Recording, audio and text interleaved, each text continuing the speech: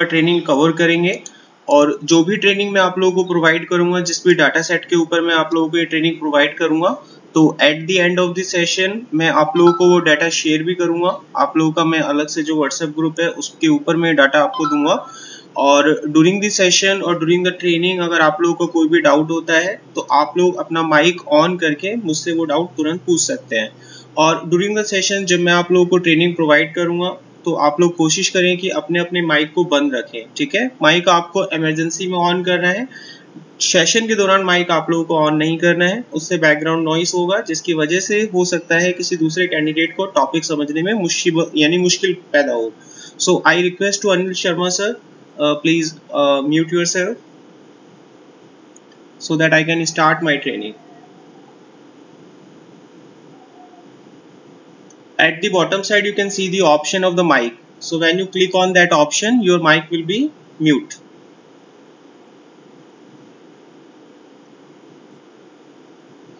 Anil sir try करें। नीचे एक ऑप्शन होता है माइक का। सबसे नीचे बॉटम साइड पे आप टास्क बार में जाएँगे तो उसके ऊपर होता है इस ऐप में। तो वहाँ वीडियो का ऑप्शन भी है माइक का ऑप्शन भी है। अनिल सर क्या आप मुझे सुन पा रहे हैं? आई थिंक आपका आवाज़ मुझ तक नहीं आ रहा है अनिल सर। आप देखिए माइक में कोई प्रॉब्लम है प्लीज़ उसको आप क्लियर कीजिए।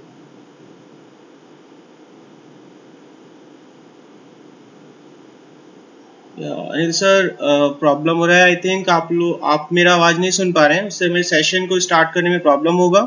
So please I request to you please आप री लॉग इन कर लें एक बार। आपकी आवाज़ हम तक नहीं आ रही है।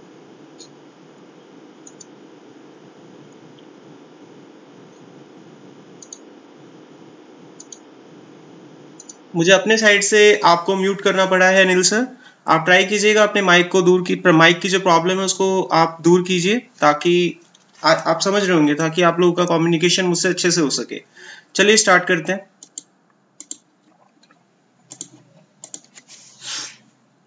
Okay so I have first share the screen with all of you तो आप लोग को स्क्रीन दिखाई दे रहा होगा। मैं कंटेंट यहाँ पे ओपन कर देता हूँ। हम स्टेप बाय स्टेप चलेंगे।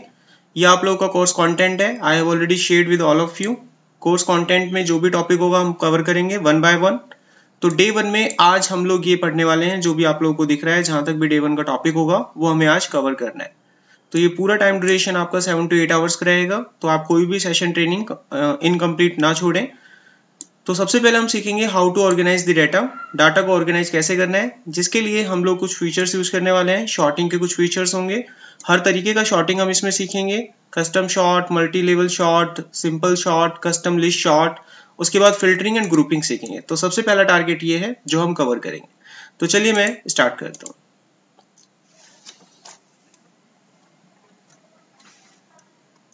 तो यहाँ पर आप देखिए दो सबसे मेन इंपॉर्टेंट टॉपिक आज के। सबसे पहला है ऑर्गेनाइजिंग द डाटा उसके बाद हम लोग कुछ बेसिक कैलकुलेशंस पे जाएँगे। सबसे पहले हम यहाँ देखते हैं डाटा को ऑर्गेनाइज कैसे किया जाता है। जब भी हम एक्सेल पे काम करते हैं तो एक्सेल में जो हमें ओपन होकर जो डाटा मिलता है, जिस भी किसी शीट के अंदर वो जाता है शीट जिसके अंदर होती है, उसे हम बोलते हैं वर्कबुक वर्कबुक का मतलब होता है it is the collection of the sheet जिस तरीके से हमारे पास वर्ड का एक डॉक्यूमेंट होता है, उसमें पेजेस होते हैं जिस तरीके से पावर पॉइंट में हमारे पास एक डॉक्यूमेंट होता है और उसके अंदर हमारे पास स्लाइड्स होती हैं। इसी तरीके से हमारे पास जो शीट्स होती हैं वो एक वर्कबुक के अंदर होती हैं। अगर हम बात करें 2013 वर्कबुक की यानी एक्सेल की या फिर हम बात करें सन आ, मतलब वर्जन 2016 की या फिर वर्जन 2019 की तो उसके अंदर जब आप लोग वर्कबुक क्रिएट करते हैं तो उसमें बाय डिफ़ॉल्ट आपको एक शीट मिलती है। लेकिन अगर आप बात करें 2007 वाले वर्जन की 2010 वाले वर्जन की तो उसमें आप लोगों को तीन वर्कशीट मिलती है पैरेलली एक साथ पहले से क्रिएट होता हुआ। अब एक पॉइंट और ध्यान रखना है आपको, जब भी हम एक्सेल पे काम करते हैं तो जो भी डाटा हमें एक्सेल में अरेंज करने के लिए दिया जाता है, उसको सबसे पहले हम टैबुलर फॉर्मेट में लाते हैं। तो सबसे पहला इंपॉर्टेंट काम हमारा होना चाहिए कि जो भी डाटा हमें मिले, हम उसे टैबुलर फॉर्मेट में लाएँ। टैबुलर फॉर्मेट में लाने के बाद हम अपने डाटा को ऑर्गेनाइज करें। डाटा को ऑर्गेनाइज करने से उसका जो व्यू होता है, वो काफ़ी सिंपल हो जाता है, जिससे हम डाटा को आसानी से सर्च कर सकते हैं, उसके ऊपर फिल्टरिंग कर सकते हैं, उसके ऊपर हम कोई भी एनालिसिस कर सकते हैं। तो डाटा को ऑर्गेनाइज करने के हमारे पास तीन तरीके होते हैं। पहला होता है शॉर्टिंग दूसरा होता है फिल्टरिंग तीसरा होता है ग्रुपिंग हम एक एक करके सारे तरीके भी सीखने वाले हैं कि इन सभी वेज को हम लोग कैसे यूज़ करेंगे. आगे देखिए, अब मैं यहाँ पर आपको सीधा प्रैक्टिकली बताऊँगा. तो सबसे पहला टास्क हमारा होगा शॉर्टिंग से रिलेटेड कि डाटा को शॉर्ट कैसे करते हैं, कितने तरीके होते हैं और कौन कौन से तरीकों से हम डाटा को शॉर्ट कर सकते हैं. तो चलिए हम अपना पहला टास्क कंप्लीट करते हैं.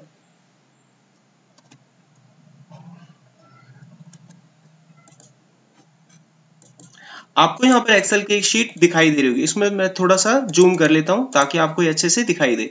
अब देखिए, हमारे पास एक डाटा शीट है। इस डाटा शीट के अंदर मेरे पास यहाँ पर एक डाटा है, जिसमें मेरे पास चार कॉलम है supplier ID supplier name supplier address and contact number अब मान लीजिए, इस डाटा को मुझे अरेंज करना है। अरेंज इन द सेंस मुझे इस डाटा को शॉर्ट करना है। तो डाटा को शॉर्ट करने के लिए आपको सबसे पहले वो कॉलम सेलेक्ट करना होता है, जिसे आप शॉर्ट करना चाहते हैं। मान लीजिए, मुझे सप्लायर आईडी को शॉर्ट नहीं शॉर्ट करना है। तो आप देखेंगे डाटा तो ऑलरेडी शॉर्टेड है बट इसे मुझे डिसेंडिंग ऑर्डर में शॉर्ट करना है। यानी मैं चाहता हूँ कि सप्लायर आईडी नंबर जिसका सबसे बड़ा हो वो पहले आ जाए।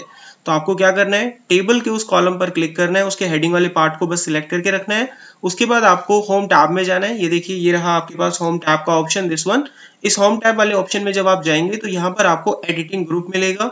इस एडिटिंग ग्रुप में आपको शॉर्टिंग एंड फिल्टरिंग का ऑप्शन मिल जाएगा। जब आप इस पर क्लिक करेंगे तो यहाँ पर आपको ये दोनों ऑप्शन मिल जाते हैं। आप किसी भी ऑप्शन के साथ जा सकते हैं। तो मैं सिंपली यहाँ से शॉर्ट कर देता हूँ जेट टू ए जैसे आप ये काम करते हैं, आपका डाटा आप देख सकते हैं शॉर्ट हो चुका है। अब एक और तरीका होता है डाटा को शॉर्ट करने का। मान लीजिए मैं सप्लायर नेम को शॉर्ट करना चाहता हूँ तो ये काम भी हम कर सकते हैं। ये काम डाटा टैब में जाके भी किया जा सकता है। आप डाटा टैब में जाएँगे। यहाँ पर आपको शॉर्टिंग का एक और ऑप्शन मिलेगा। आप यहाँ पर जाएँ और यहाँ से अपना कॉलम सेलेक्ट करें कि किस कॉलम के ऊपर आपको शॉर्टिंग करना है। तो हम यहाँ से सिलेक्ट करेंगे सप्लायर नेम उसके बाद जो भी ऑर्डर आपको देना है, वो ऑर्डर आप यहाँ पर दे सकते हैं। मैंने यहाँ पर ऑर्डर दिया ए टू जेड अब हम इसे ओके करते हैं। जैसे आप इसे ओके करेंगे, आपका डाटा ए टू जेड के ऑर्डर में शॉर्ट हो जाएगा। इसी काम को करने का एक और तरीका होता है। कोई भी डाटा अगर आपको शॉर्ट करना है, जो काम हमने डाटा से शॉर्ट वाली विंडो को ओपन करके किया था, यही विंडो हम होम टैब से भी ओपन कर सकते हैं। होम टैब पे जाना है। सबसे पहले पूरा टेबल आपको सिलेक्ट कर लेना है। इसकी शॉर्टकट की आपके पास होगी कंट्रोल ए कंट्रोल ए दबाते ही आपका पूरा टेबल सिलेक्ट हो जाएगा। उसके बाद आपको एडिटिंग ग्रुप में जाना है। यहाँ पर आपको शॉर्टिंग एंड फिल्टरिंग मिलेगा।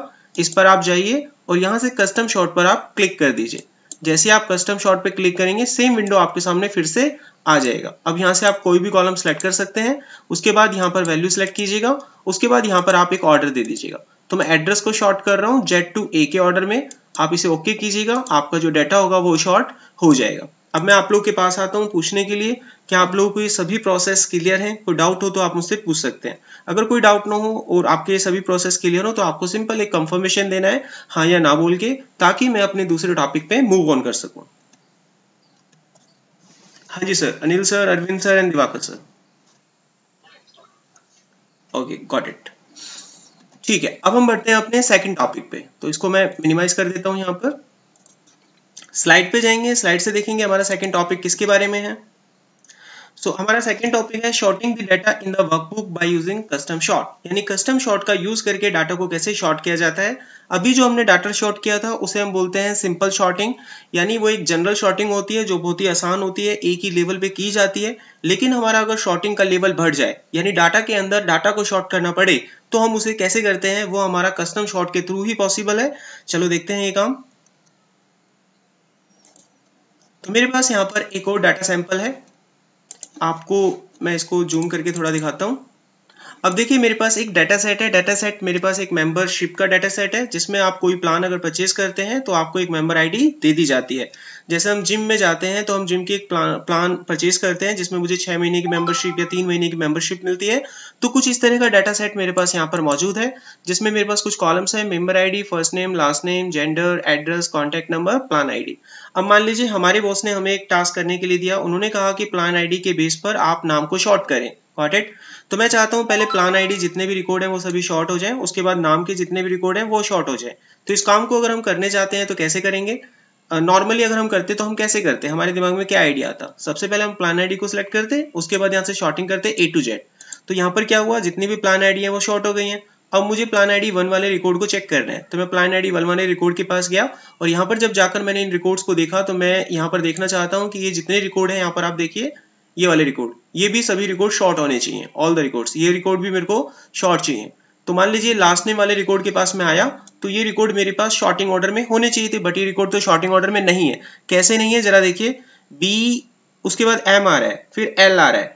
ये तो गड़बड़ है। के एल एम होता है, यानी एम एल के बाद आता है तो ये डाटा शॉर्ट नहीं है। तो हमें चाहिए कि जब प्लान आईडी शॉर्ट हो जाए, उसके बाद नाम भी शॉर्ट होने चाहिए लास्ट नेम तो हमारे दिमाग में आइडिया आया कि क्यों ना लास्ट नेम को शॉर्ट कर दें। तो हमने इस डाटा को सिलेक्ट किया और यहाँ से इसको शॉर्ट कर दिया। लेकिन यहाँ से गड़बड़ हो गया हमारा काम। क्या गड़बड़ हुआ? ये डाटा तो आपका शॉर्ट हुआ बट प्लान आईडी आपकी डी शॉर्टेड हो गई है। यानी ये मिसमैच हो गया है। तो इसको बोलते हैं मल्टी लेवल शॉर्टिंग यानी एक डाटा को शॉर्ट करके उसके अंदर आने वाले दूसरे डाटा को शॉर्ट कैसे करते हैं? चलो देखते हैं ये काम हम कैसे कर सकते हैं। सबसे पहले आपको पूरा टेबल सेलेक्ट कर लेना है। पूरा टेबल सेलेक्ट करने के बाद शॉर्टिंग पे वापस जाना है। यहाँ पर आपको मिलेगा कस्टम शॉर्ट कस्टम शॉर्ट पे जब आप आएँगे तो यहाँ से आप अपना लेवल दीजिए। सबसे पहले आपको पेरेंट सेलेक्ट करना है। पेरेंट का मतलब होता है, सबसे पहले आप कौन सा डाटा सेलेक्ट करना चाहते हैं, यानी टॉप लेवल पे किस डाटा को शॉर्ट करना है। तो मुझे टॉप लेवल पे जो डाटा सेलेक्ट करना है और जो शॉर्ट करना है, वो है प्लान आईडी सो फ़र्स्ट मैं सिलेक्ट करूँगा प्लान आईडी उसके बाद डाटा को शॉर्ट किया जाएगा। एक ऑर्डर आप यहाँ पर देंगे स्मॉलेस्ट टू द लार्जेस्ट जो भी आप ऑर्डर रखना चाहते हैं, वो दे दीजिए। अब इसके बेस पर एक लेवल और ऐड करना है। यानी मैं चाहता हूँ, मैं एक्सेल को ये कहना चाहता हूँ कि पहले एक्सेल को मैंने बोला कि प्लान आईडी को शॉर्ट करें।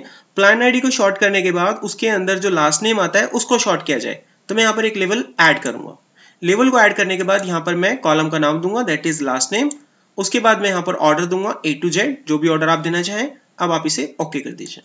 अब मैं आपको ये डाटा एक बार वेरीफाई करके दिखाता हूँ। तो यहाँ पर आप देखेंगे मेरे पास प्लान आईडी यहाँ पर शॉर्टेड है। मैं सबसे पहले वन नंबर का रिकॉर्ड सिलेक्ट करके आपको दिखाता हूँ। तो आप इसको जब वेरीफाई करेंगे तो आप पर लाम आप देख सकते हैं, ये पूरे ऑर्डर में शॉर्ट हो चुके हैं, देख सकते हैं। के एल एम एन ये ऑर्डर शॉर्ट हो चुका है। अब मैं आपको टू का भी एक डाटा वेरीफाई करके यहाँ पर दिखा देता हूँ। ये मेरे पास टू का रिकॉर्ड है। इस रिकॉर्ड को भी अगर आप चेक करेंगे तो ये लास्ट टाइम जितने भी मेरे पास हैं, ये ऑलरेडी शॉर्ट हो चुके हैं। अब यहाँ पर हम कितने लेवल तक शॉर्टिंग कर सकते हैं? आप इसके अंदर आठ लेवल तक की शॉर्टिंग कर सकते हैं। मेरा मतलब है प्लान आईडी के बेस पर आपने लास्ट नेम को शॉर्ट किया। लास्ट नेम के बेस पर आप फ़र्स्ट नेम को शॉर्ट कर सकते हैं। फ़र्स्ट नेम के बेस पर आप जो चाहें वो शॉर्ट कर सकते हैं। यानी अगर आपके पास कोई सेंसस का डाटा आ जाए, जिसमें यहाँ पर कंट्रीज़ लिखी हो गॉट इट तो सबसे पहले आप कंट्री को शॉर्ट कर सकते हैं। फिर कंट्री के बेस पर आप शॉर्ट कर सकते हैं उसकी स्टेट को। फिर स्टेट के बेस पे आप शॉर्ट कर सकते हैं उसके डिस्ट्रिक्ट को। फिर डिस्ट्रिक्ट के बेस पे आप शॉर्ट कर सकते हैं सिटीज़ को। फिर सिटीज़ के बेस पर आप शॉर्ट कर सकते हैं वार्ड नंबर्स को। तो इस तरीके की शॉर्टिंग करके आपको क्या फ़ायदा होगा? आपका डाटा जो सर्च आप कर रहे हैं, बड़ी आसानी से आप आसानी से सर्च कर पाएँगे। मान लीजिए किसी ने आपको बोला कि न्यूयॉर्क किसी ने आपको बोला कि यूएस के अंदर न्यूयॉर्क के अंदर फलाना वार्ड नंबर की डिटेल्स मुझे दीजिए। तो हम पूरे डाटा को जब सर्च करेंगे, वार्ड नंबर रिपीट हो रहे होंगे तो हम सीधा यहाँ पर पहले कंट्री को शॉर्ट कर लेंगे। उसके बाद हम स्टेट को शॉर्ट कर लेंगे। तो सीधा न्यूयॉर्क वाले सेक्शन पे हम जाएँगे, फिर हम वार्ड वाले सेक्शन पे जाएँगे तो वो डाटा हमें आसानी से मिल जाता है। इसको हम बोलते हैं मल्टी लेवल शॉर्टिंग तो मैं आता हूँ आप लोगों के पास कंफर्म करने के लिए, क्या आप लोगों को ये समझ आया? अगर कोई प्रॉब्लम है तो आप मुझे कह सकते हैं। या प्लीज़ कंफर्म करें मल्टी लेवल शॉर्टिंग क्लियर हुआ आप लोगों को? Anil sir Arvind sir and Diwakar sir हाँ जी, बोलिए। हाँ आप इसको एट लेवल तक ले जा पाएँगे। इतनी ज़रूरत वैसे इतनी ज़रूरत वैसे पड़ेगी नहीं कभी आपको क्योंकि मैंने भी आ, काम किया है ऐसा नहीं है मैंने एम पे मतलब काफ़ी काम किया हुआ मेरा काफ़ी एक्सपीरियंस है। हम इतना अंदर जाते नहीं है। मैक्सिमम आप कभी भी जाएँगे शॉर्टिंग लेवल पर पाँच या छह छह तक बहुत हो जाएगा आपका। आप नहीं जाएँगे आगे। बहुत रेयर चांस होगा। चलिए अब हम बढ़ते हैं अपने नेक्स्ट टॉपिक पर। ओके okay, अब हमारे पास शॉर्टिंग का एक तीसरा टाइप होता है जिसको हम बोलते हैं कस्टम लिस्ट चलो देखते हैं इसका एग्जांपल ये कस्टम लिस्ट क्या होती है? ओके okay, तो यहाँ पर आप फिर से देखिए मेरे पास एक डाटा है जो कि एक एम्प्लॉय का डाटा है. उन्होंने जिस भी मंथ में अपनी ज्वाइनिंग ली है तो उनका यहाँ पर मंथ ऑफ़ ज्वाइनिंग आप देख सकते हैं.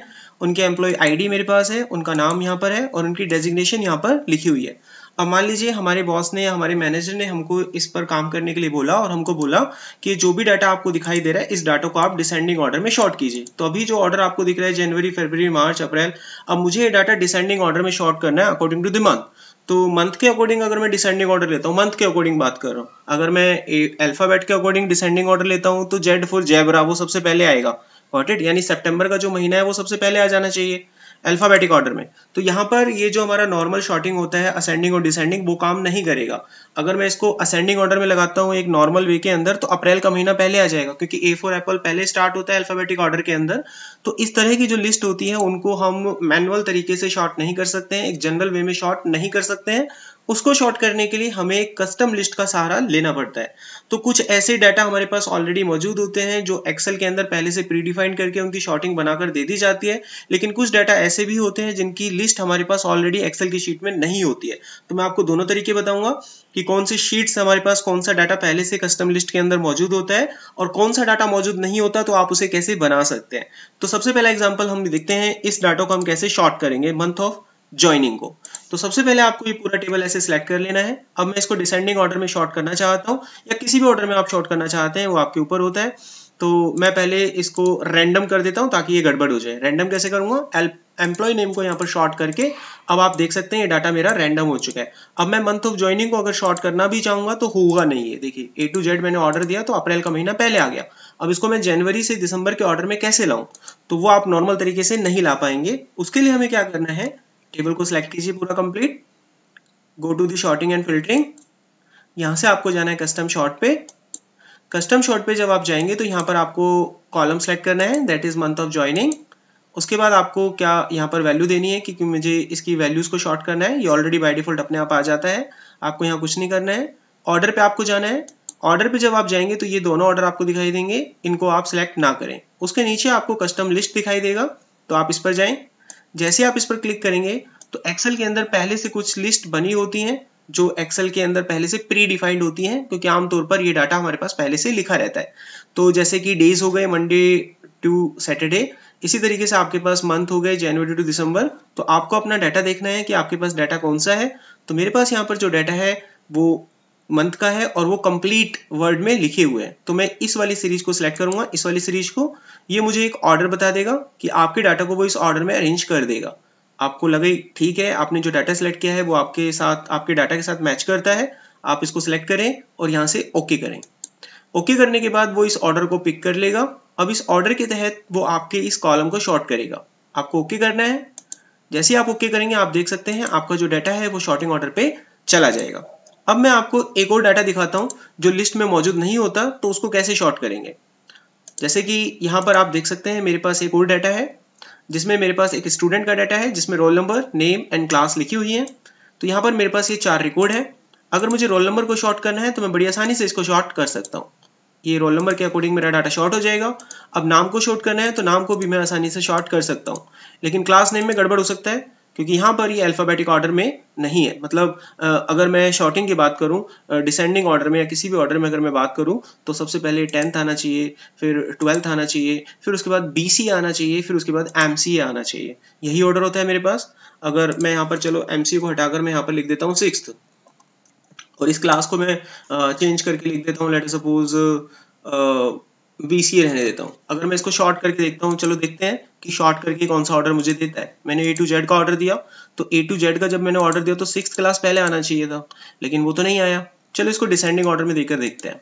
तो डिसेंडिंग ऑर्डर में दिया तो इसने पहले मेरे को बीसीए दे दिया, फिर सिक्स दे दिया। बीसीए के बाद सिक्स थोड़ी ना होता है। बीसीए से पहले उसने ट्वेल्थ किया होगा तो ये दोनों ऑर्डर गलत हो गए हैं। तो अब मुझे इसको एक क्लास का जो ऑर्डर होता है, उस ऑर्डर में डाटा को अरेंज करना है। यानी मैं चाहता हूँ सबसे पहले सिक्स क्लास का डाटा है उसके बाद टेंथ का, उसके बाद ट्वेल्थ का, उसके बाद बीसीए का।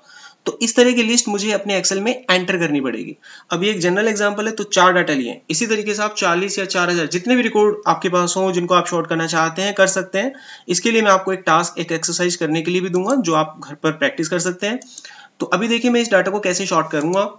सबसे पहले आपको पूरा डाटा सेलेक्ट करना है। अपना कस्टम शॉर्ट पे जाना है। यहाँ से आपको सिलेक्ट करनी है क्लास नाम का कॉलम अब यहाँ पर जब आप ऑर्डर देंगे तो आपको कस्टम लिस्ट पे जाना है। और इसके अंदर जाकर अपनी लिस्ट को चेक करें, क्या ऐसा कोई लिस्ट यहाँ पर मौजूद है? तो आप देखेंगे यहाँ ऐसा कोई लिस्ट मौजूद नहीं है। तो ये लिस्ट मैं एक नया ऐड करूँगा। तो आपको न्यू लिस्ट पे क्लिक करना है। यहाँ पर आपका पॉइंटर आ जाएगा। अब यहाँ पर ऑर्डर बनाइए अपने डाटा को देखते हुए कि सबसे पहले आप किसको रखना चाहते हैं। तो मैं यहाँ पर लिखूँगा सिक्स तो मैंने यहाँ पर लिखा सिक्स उसके बाद मैंने लिखा टेंथ, उसके बाद ट्वेल्थ, उसके बाद बीसीए तो जो डाटा मेरे पास था, उसको मैंने एक ऑर्डर दे दिया यहाँ पर। अब इसको हम ऐड कर देंगे अपनी लिस्ट में। तो ये लिस्ट में डाटा मेरा ऐड हो जाएगा। उसके बाद इसी लिस्ट को आप सिलेक्ट करें ओके करें। आपकी लिस्ट इस ऑर्डर के अंदर चली जाएगी। अब आप इसे ओके करें। एक्सेल आपके उस लिस्ट को शॉर्ट कर देगा आपके ऑर्डर में, देखिए। तो आप इस तरीके से अपनी खुद की कस्टम लिस्ट ऐड कर सकते हैं और अपने डाटा को शॉर्ट कर सकते हैं। तो यहाँ पर एक एक्सरसाइज आपको मिलेगी जैसे ये डाटा आप देख रहे हैं।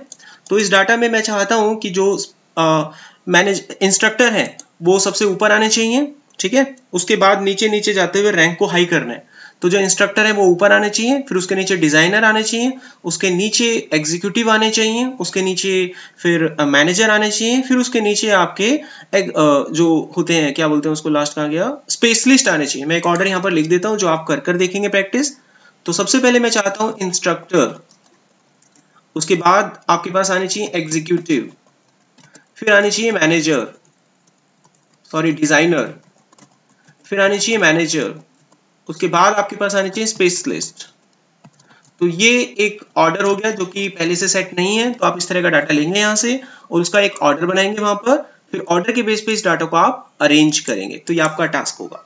तो मैं आता हूँ आपकी शीट पर मतलब कम्युनिकेशन विंडो पे जहाँ पर आप मुझे कंफर्म करेंगे this is clear to all of you how to use custom list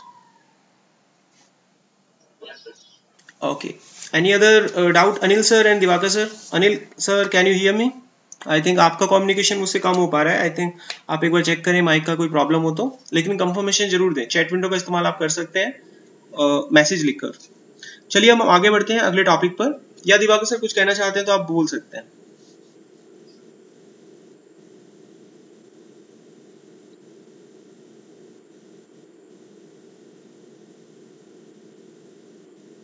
Yeah, if you don't have that list, if you don't have that list in your excel sheet or in your excel template window, then you have to enter it manually.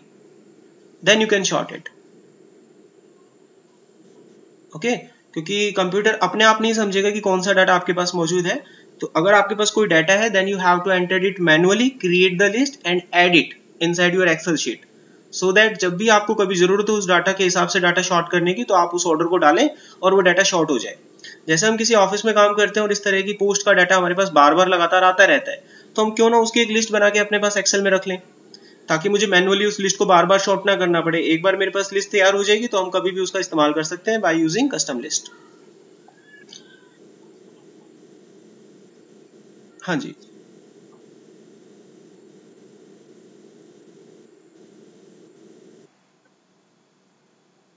हाँ कर सकते हैं, बिल्कुल। वो आपके हर Excel में रहेगा। ये नहीं कि सिर्फ़ इसी एक्सेल की वर्कबुक में रहेगा। वो आपके एक्सेल में सेव हो जाएगा। कभी भी आप एक्सेल पे काम करेंगे तो वो लिस्ट में रहेगा आपके पास। ठीक है? वो रहेगा आपके पास। वो हाँ वन टाइम एफर्ट्स हैं, एक बार आपको डाल के लगाना ज़रूर पड़ेगा। ओके हाँ एडिट तो आप कभी भी कर सकते हैं। लिस्ट पर क्लिक करके आप उसको जब चाहे तब एडिट कर सकते हैं। मैं आपको दिखा देता हूँ। जैसे ये लिस्ट मेरे पास थी कहाँ गया वो डेटा ये रहा। अब मुझे कभी भी एडिट करना है तो एडिट करने का तरीका वही रहेगा। आप इस लिस्ट पे वापस जाएँ और ये लिस्ट आपके पास है एडिट कर सकते हैं। देखिए पॉइंटर आ गया मेरे पास। आपको ये हटाना है बीसीए नहीं चाहिए। आप इसको कभी भी एडिट कर सकते हैं। फिर से इसको ऐड करें तो लिस्ट आपके पास आ जाएगी। चलिए। तो अभी देखते हैं अगला कंटेंट हमारे पास क्या आता है। Now the next topic is to filter the data in the workbook okay देखते हैं इस पे कैसे करने का ओके okay, ये बहुत ही सिंपल है filtering of data filtering of data का मतलब होता है select the specific data from the complete data set जैसे आप यहाँ देख सकते हैं कि मेरे पास एक कंप्लीट डाटा सेट है इसमें काफ़ी सारा डाटा मेरे पास अवेलेबल है। अब मान लीजिए मेरे मैनेजर ने मुझे बोला कि आ, मुझे एक रिपोर्ट बना कर दें और मुझे रिपोर्ट के अंदर वो डाटा आप प्रोवाइड करें जिनकी कैटेगरी आईडी आठ है यानी एट है। तो अगर हमें फिल्टरिंग का यूज़ करना नहीं आता है तो वो बंदा क्या करेगा? एक एक डाटा यहाँ से कॉपी करेगा अगली शीट में पेस्ट मारता जाएगा। फिर एक एक डाटा कॉपी करेगा, अगली शीट में पेस्ट मारेगा। तो इसमें काफ़ी टाइम वेस्ट होता है।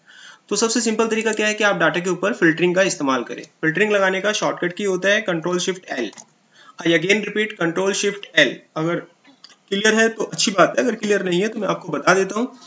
उसका जो शॉर्टकट की होता है control plus shift plus L four लॉय तो ये एक शॉर्टकट की है, इसका आप इस्तेमाल कर सकते हैं। किसी ने नोट नहीं किया है तो वो नोट कर लीजिएगा। कंट्रोल शिफ्ट प्लस एल तो देखिए, मैंने इसके ऊपर फिल्टरिंग का जो ऑप्शन है, वो लगा दिया है। तो आप देख सकते हैं, यहाँ पर एक फ़िल्टर बटन आ चुका है। इसको बोलते हैं फ़िल्टर बटन जो आपको इस डाटा सेट में ऊपर दिखाई दे रहा है। फ़िल्टर बटन में क्या कर सकते हैं कि जो डाटा आपको अलाउ करना है, वही डाटा आपको मिलेगा। जो डाटा आपको अलाउ नहीं करना है, वो डाटा अलाउ नहीं होगा। अभी यहाँ पर आप देख सकते हैं कि मेरे पास हर कॉलम के ऊपर एक फ़िल्टर बटन आ चुका है। तो मुझे जिस कॉलम के अकॉर्डिंग डाटा चाहिए, उस कॉलम के ऊपर आप क्लिक करेंगे, एक ड्रॉप डाउन लिस्ट ओपन हो जाएगी। देखिए यदि ये ड्रॉप डाउन लिस्ट होती है, ये ओपन हो जाएगी।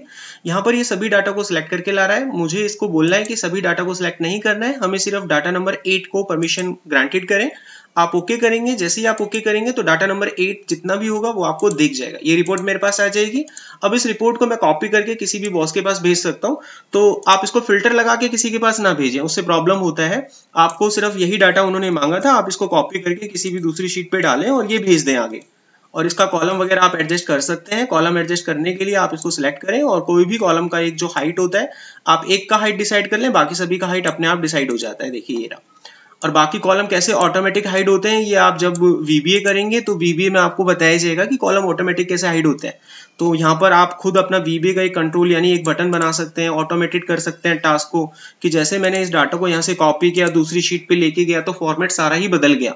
तो मैं अपना खुद का फॉर्मेट एक मैक्रो के थ्रू सेट कर लूँगा बटन बना लूँगा ऑटोमेटेड हो जाएगा सारा टास्क सिर्फ़ बटन पर क्लिक करेंगे, वो अपने आप फॉर्मेट हो जाएगा डाटा तो ये हम वीबीए में सीख लेते हैं।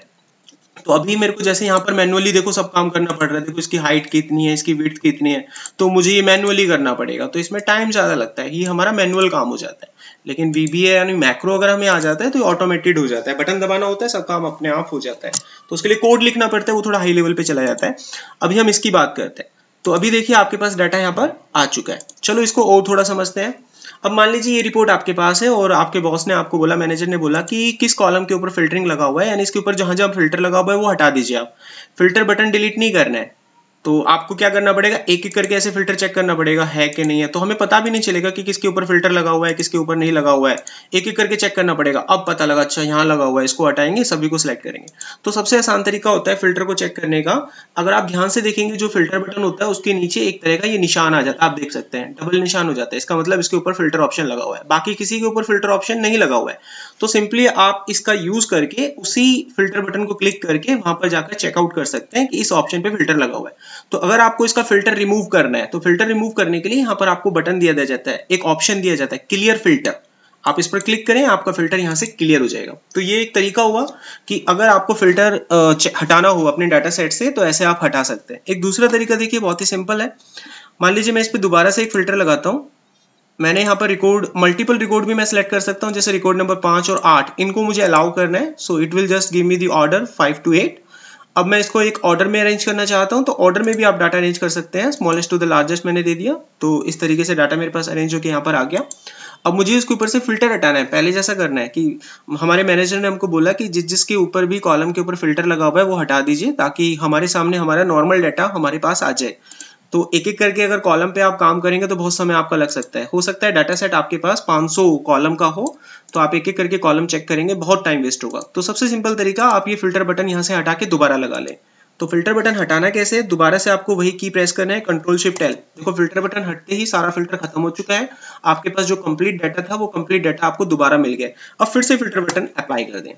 तो तुरंत आप वहाँ से जो फ़िल्टर लगा हुआ था, वो हटा सकते हैं। ये तो हुआ नुमेरिक डाटा के ऊपर फ़िल्टर लगाने का प्रोसेस एक और प्रोसेस होता है, जो कि होता है टेक्स्ट के ऊपर। जैसे ये डाटा मेरे पास यहाँ अवेलेबल है, अब मुझे इसमें से रेडियो वाला डाटा सेलेक्ट करना है। सिंपल रेडियो मेरे बॉस ने मुझे बोला कि रेडियो वाले रिकॉर्ड मुझे निकाल कर आप दीजिए। तो मुझे यहाँ फ़िल्टर ऑप्शन पे जाना है सर्च में जाके यहाँ पे टाइप कर देना है रेडियो तो ये फ़िल्टर जो ऑप्शन होता है, वो ऑटोमेटिकली उन रिकॉर्ड को पिक कर लेगा जिसमें रेडियो आ रहा है। आप ओके करें दैट्स ओके रिपोर्ट आपका बनके तैयार है। कभी भी फ़िल्टर हटाना हो कंट्रोल शिफ्ट एल कर दें। कभी भी फ़िल्टर लगाना हो कंट्रोल शिफ्ट एल कर दें। मल्टीपल लेवल फ़िल्टर भी आप लगा सकते हैं, जैसे कि रिकॉर्ड सेलेक्ट करना है मुझे वायरलेस का। तो मैंने यहाँ पर लिखा वायरलेस तो वायरलेस के रिकॉर्ड आ गए। अब मुझे रिकॉर्ड सेलेक्ट करना है सिर्फ़ रिकॉर्ड नंबर टेन का। तो मैं इसको भी हटा दूँगा टेन को अपने पास रखूँगा। तो मैंने यहाँ पर मल्टी फ़िल्टर लगा रखे हैं। यानी मैंने प्रोडक्ट भी वो सिलेक्ट किया हुआ है जो वायरलेस का हो, और वो भी प्रोडक्ट कैटेगरी जिसकी टेन आती हो। तो मेरे पास वो रिकॉर्ड आ जाएगा। अब मैं इसके ऊपर रिपोर्ट बना के मतलब आगे जो भी है, वो आप भेज सकते हैं। अब फ़िल्टर हटाने की बात आती है तो आप एक एक करके फ़िल्टर हटाना चाहते हैं तो टाइम ज़्यादा लगता है। सिंपल तरीका कंट्रोल शिफ्ट एल दबाए फ़िल्टर सारा हट जाएगा। वापिस से कंट्रोल शिफ्ट एल लगाए फ़िल्टर आपका वापिस लग जाएगा। अब मैं आता हूँ आप लोगों के पास चैट विंडो पे समझने के लिए कि क्या आप लोग फ़िल्टर ऑप्शन को समझ पाए। फ़िल्टर में कोई प्रॉब्लम कोई डाउट आप पूछ सकते हैं। Diwakar sir okay Arvind sir okay I got it now go to the task number five grouping the data in the workbook ये भी बहुत ही सिंपल है। डाटा को ग्रुप कैसे किया जाता है? चलो उसको भी एक बार हम देख लेते हैं। ओके. तो यहाँ पर देखिए मेरे पास एक डाटा है जो कि सेल्स रिपोर्ट का डाटा है। अलग अलग डिवीज़न की अलग अलग सेल्स रिपोर्ट यहाँ पर आप देख सकते हैं, जो कि आप लोगों को यहाँ सिस्टम पे दिखाई दे रही है। अब ये डाटा अगर हम किसी को शो करते हैं तो ये पूरा डाटा अगर मुझे पास मान लीजिए क्लाइंट आता है और वो ऑस्ट्रेलियन डिवीज़न से कनेक्टेड है तो मैं उसको जब ये डाटा शो करता हूँ तो वो अपना डाटा तो देखेगा ही देखेगा, साथ में यूरोपियन डिवीज़न का भी डाटा देख लेता है। तो मुझे इस डाटा को ऐसा कुछ करना है कि डाटा उसको दिखाई ना दे। तो मैं डाटा को ग्रुप करके अपने पास रख सकता हूँ और according to the client requirement data को ओपन और क्लोज कर सकता हूँ। तो हमें क्या करना होता है वो देखिए, आप इस डाटा को सिलेक्ट करें, जो ऑस्ट्रेलियन डिवीज़न का डाटा है, उसके बाद आपको डाटा टैब पे जाना है, यहाँ से आपको ग्रुप पर क्लिक करना है। जैसे आप ये करते हैं, आपका ये डाटा ग्रुप हो जाएगा। यहाँ पर आपको माइनस का ये निशान दिखाई देगा। जैसे आप इस पर क्लिक करेंगे, आपका डाटा कोलैप्स हो जाएगा। देखिए, ये डाटा हाइड हो चुका है। सेम प्रोसेस आप सभी के साथ कर सकते हैं। तो जितने भी डाटा सेट आपके पास है, आप सभी के साथ ये अप्लाई कर दें। आपका डाटा टोटली ग्रुप होता चला जाएगा ऐसे। और जो दूसरा क्लाइंट होगा, उसको वो डाटा वहाँ पर विजिबल नहीं होगा। वो उसको देख नहीं सकता है। जब तक आप ना चाहें जब तक आप उसको परमिशन नहीं देंगे, आप उसको ओपन करके नहीं देंगे, वो डाटा को देख नहीं पाएगा। तो इससे हमने क्या करा? रो को ग्रुप कर दिया। अब आपको अमेरिकन डिवीज़न का डाटा अगर कभी शो करना है तो आप अमेरिकन डिवीज़न के डाटा पे क्लिक करें, वो डाटा आपको शो होने लगेगा। इसी तरीके से, जैसे आपने रो को ग्रुप किया है, वैसे ही आप कॉलम को भी ग्रुप कर सकते हैं। मान लीजिए, मुझे क्वार्टर का भी डाटा यानी किस किस क्वार्टर का डाटा मैंने यहाँ पर ओपन कर रखा है, बना रखे है रिपोर्ट वो भी मुझे शो नहीं करना है किसी क्लाइंट को। तो आप इसको सिलेक्ट करें सिलेक्ट करने के बाद इसको भी ग्रुप कर दें तो आपकी जो कॉलम है, वो भी ग्रुप हो जाएँगे। देखिए कंप्लीटली ग्रुप हो चुका है सारा डाटा अब आपके पास सिर्फ़ डिवीज़न डिवीज़न का डाटा हम लोगों को यहाँ पर दिखाई देता है। अब कोई डिवीज़न का बंदा है अमेरिकन डिवीज़न का, उसकी रिपोर्ट मुझे चेक करनी है, हम क्लिक करेंगे यहाँ पर। तो ये रिपोर्ट उसके चार अलग अलग कॉम्पोनेंट्स में हम देख सकते हैं। अगर वो हर क्वार्टर की डिटेल वगैरह भी मांगना चाहता है तो हम इस पर क्लिक करेंगे। अब मैं उसको क्वार्टर वाइज सेल्स रिपोर्ट भी दिखा सकता हूँ। ये तो बात हुई डाटा को ग्रुप करने की। कभी इन फ्यूचर अगर आपको वो डाटा अनग्रुप करना हो तो कैसे करते हैं? देखिए, जिस कॉलम को आपने ग्रुप कर रखा होता है, कैसे पता चलता है कौन कौन से कॉलम आपने ग्रुप कर रखे हैं? स्टार्ट ये देखिए बी से लेके एफ़ तक जा रहा है। तो आपको एफ़ तक डाटा सेलेक्ट नहीं करना है। इसका पता करने का सिंपल तरीका होता है, अगर आप ध्यान से देखेंगे तो जो कॉलम आपने सेलेक्ट की थी, उसके ऊपर डॉट का निशान आ रहा है, अगर आप देखेंगे। तो जहाँ जहाँ पर भी डॉट के निशान आते हैं, वो डाटा सिलेक्ट किया जाता है और उसके बाद अनग्रुप कर दिया जाता है। ये देखिए, हट गया। अब जैसे मुझे ये डाटा अनग्रुप करना है तो यहाँ पर आप लेफ़्ट हैंड साइड पे देख सकते हैं डॉट के निशान आ रहे हैं। तो जहाँ डॉट के निशान है सिंपल आपको वो डाटा सेलेक्ट करना है। डाटा को सिलेक्ट करने के बाद आपको यहाँ से ये अनग्रुप करना है। तो ये प्रोसेस होता है डाटा को ग्रुप और अनग्रुप करने का। तो मैं वापस आता हूँ आप लोग के पास कंफर्मेशन विंडो पे। क्या grouping ungrouping is clear to all of you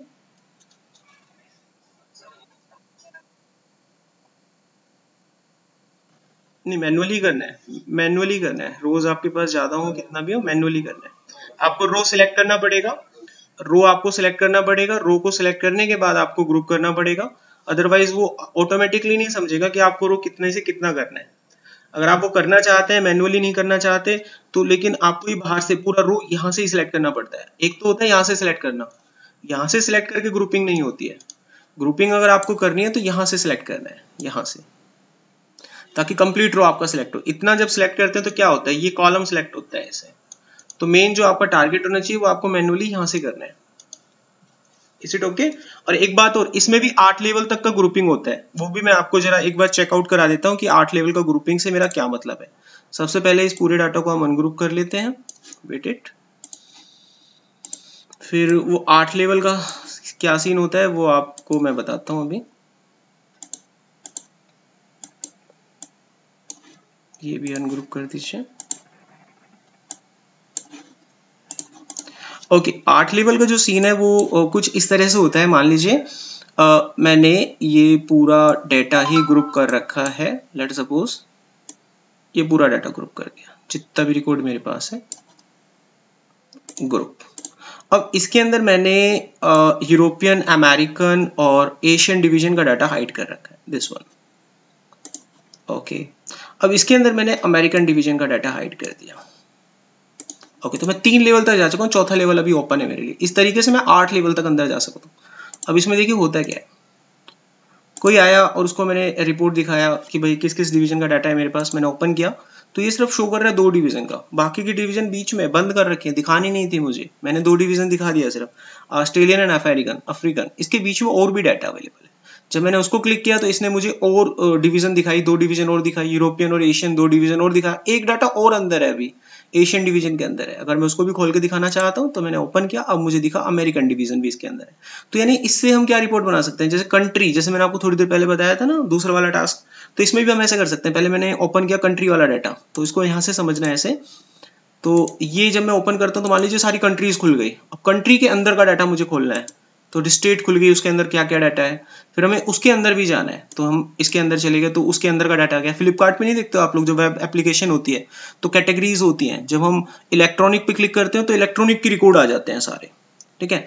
फिर उसके अंदर भी टाइप होते हैं लैपटॉप पे जाना है कि मोबाइल पे जाना है। तो मैं जब उसके अंदर जाके क्लिक करता हूँ तो फिर लैपटॉप की कैटेगरीज आ जाती हैं। फिर लैपटॉप की कैटेगरीज पे जाते हैं तो उसमें भी अलग अलग कैटेगरीज होती हैं कि आपको कोर आई फाइव पे जाना है। या फिर आपको स्मार्टफ़ोन पे जाना है, या फिर आपको गेमिंग के कंसोल एप्लीकेशन पे जाना है तो इस तरीके से कैटेगरीज आप ऐसे ग्रुप कर सकते हैं, अंदर से अंदर जाके। तो आठ लेवल तक होता है ये भी ये भी हमें ध्यान रखना है, उससे ज़्यादा नहीं होता है। अब मैं आता हूँ आप लोगों के पास स्क्रीन पर, अब आप अपने सवाल पूछ सकते हैं।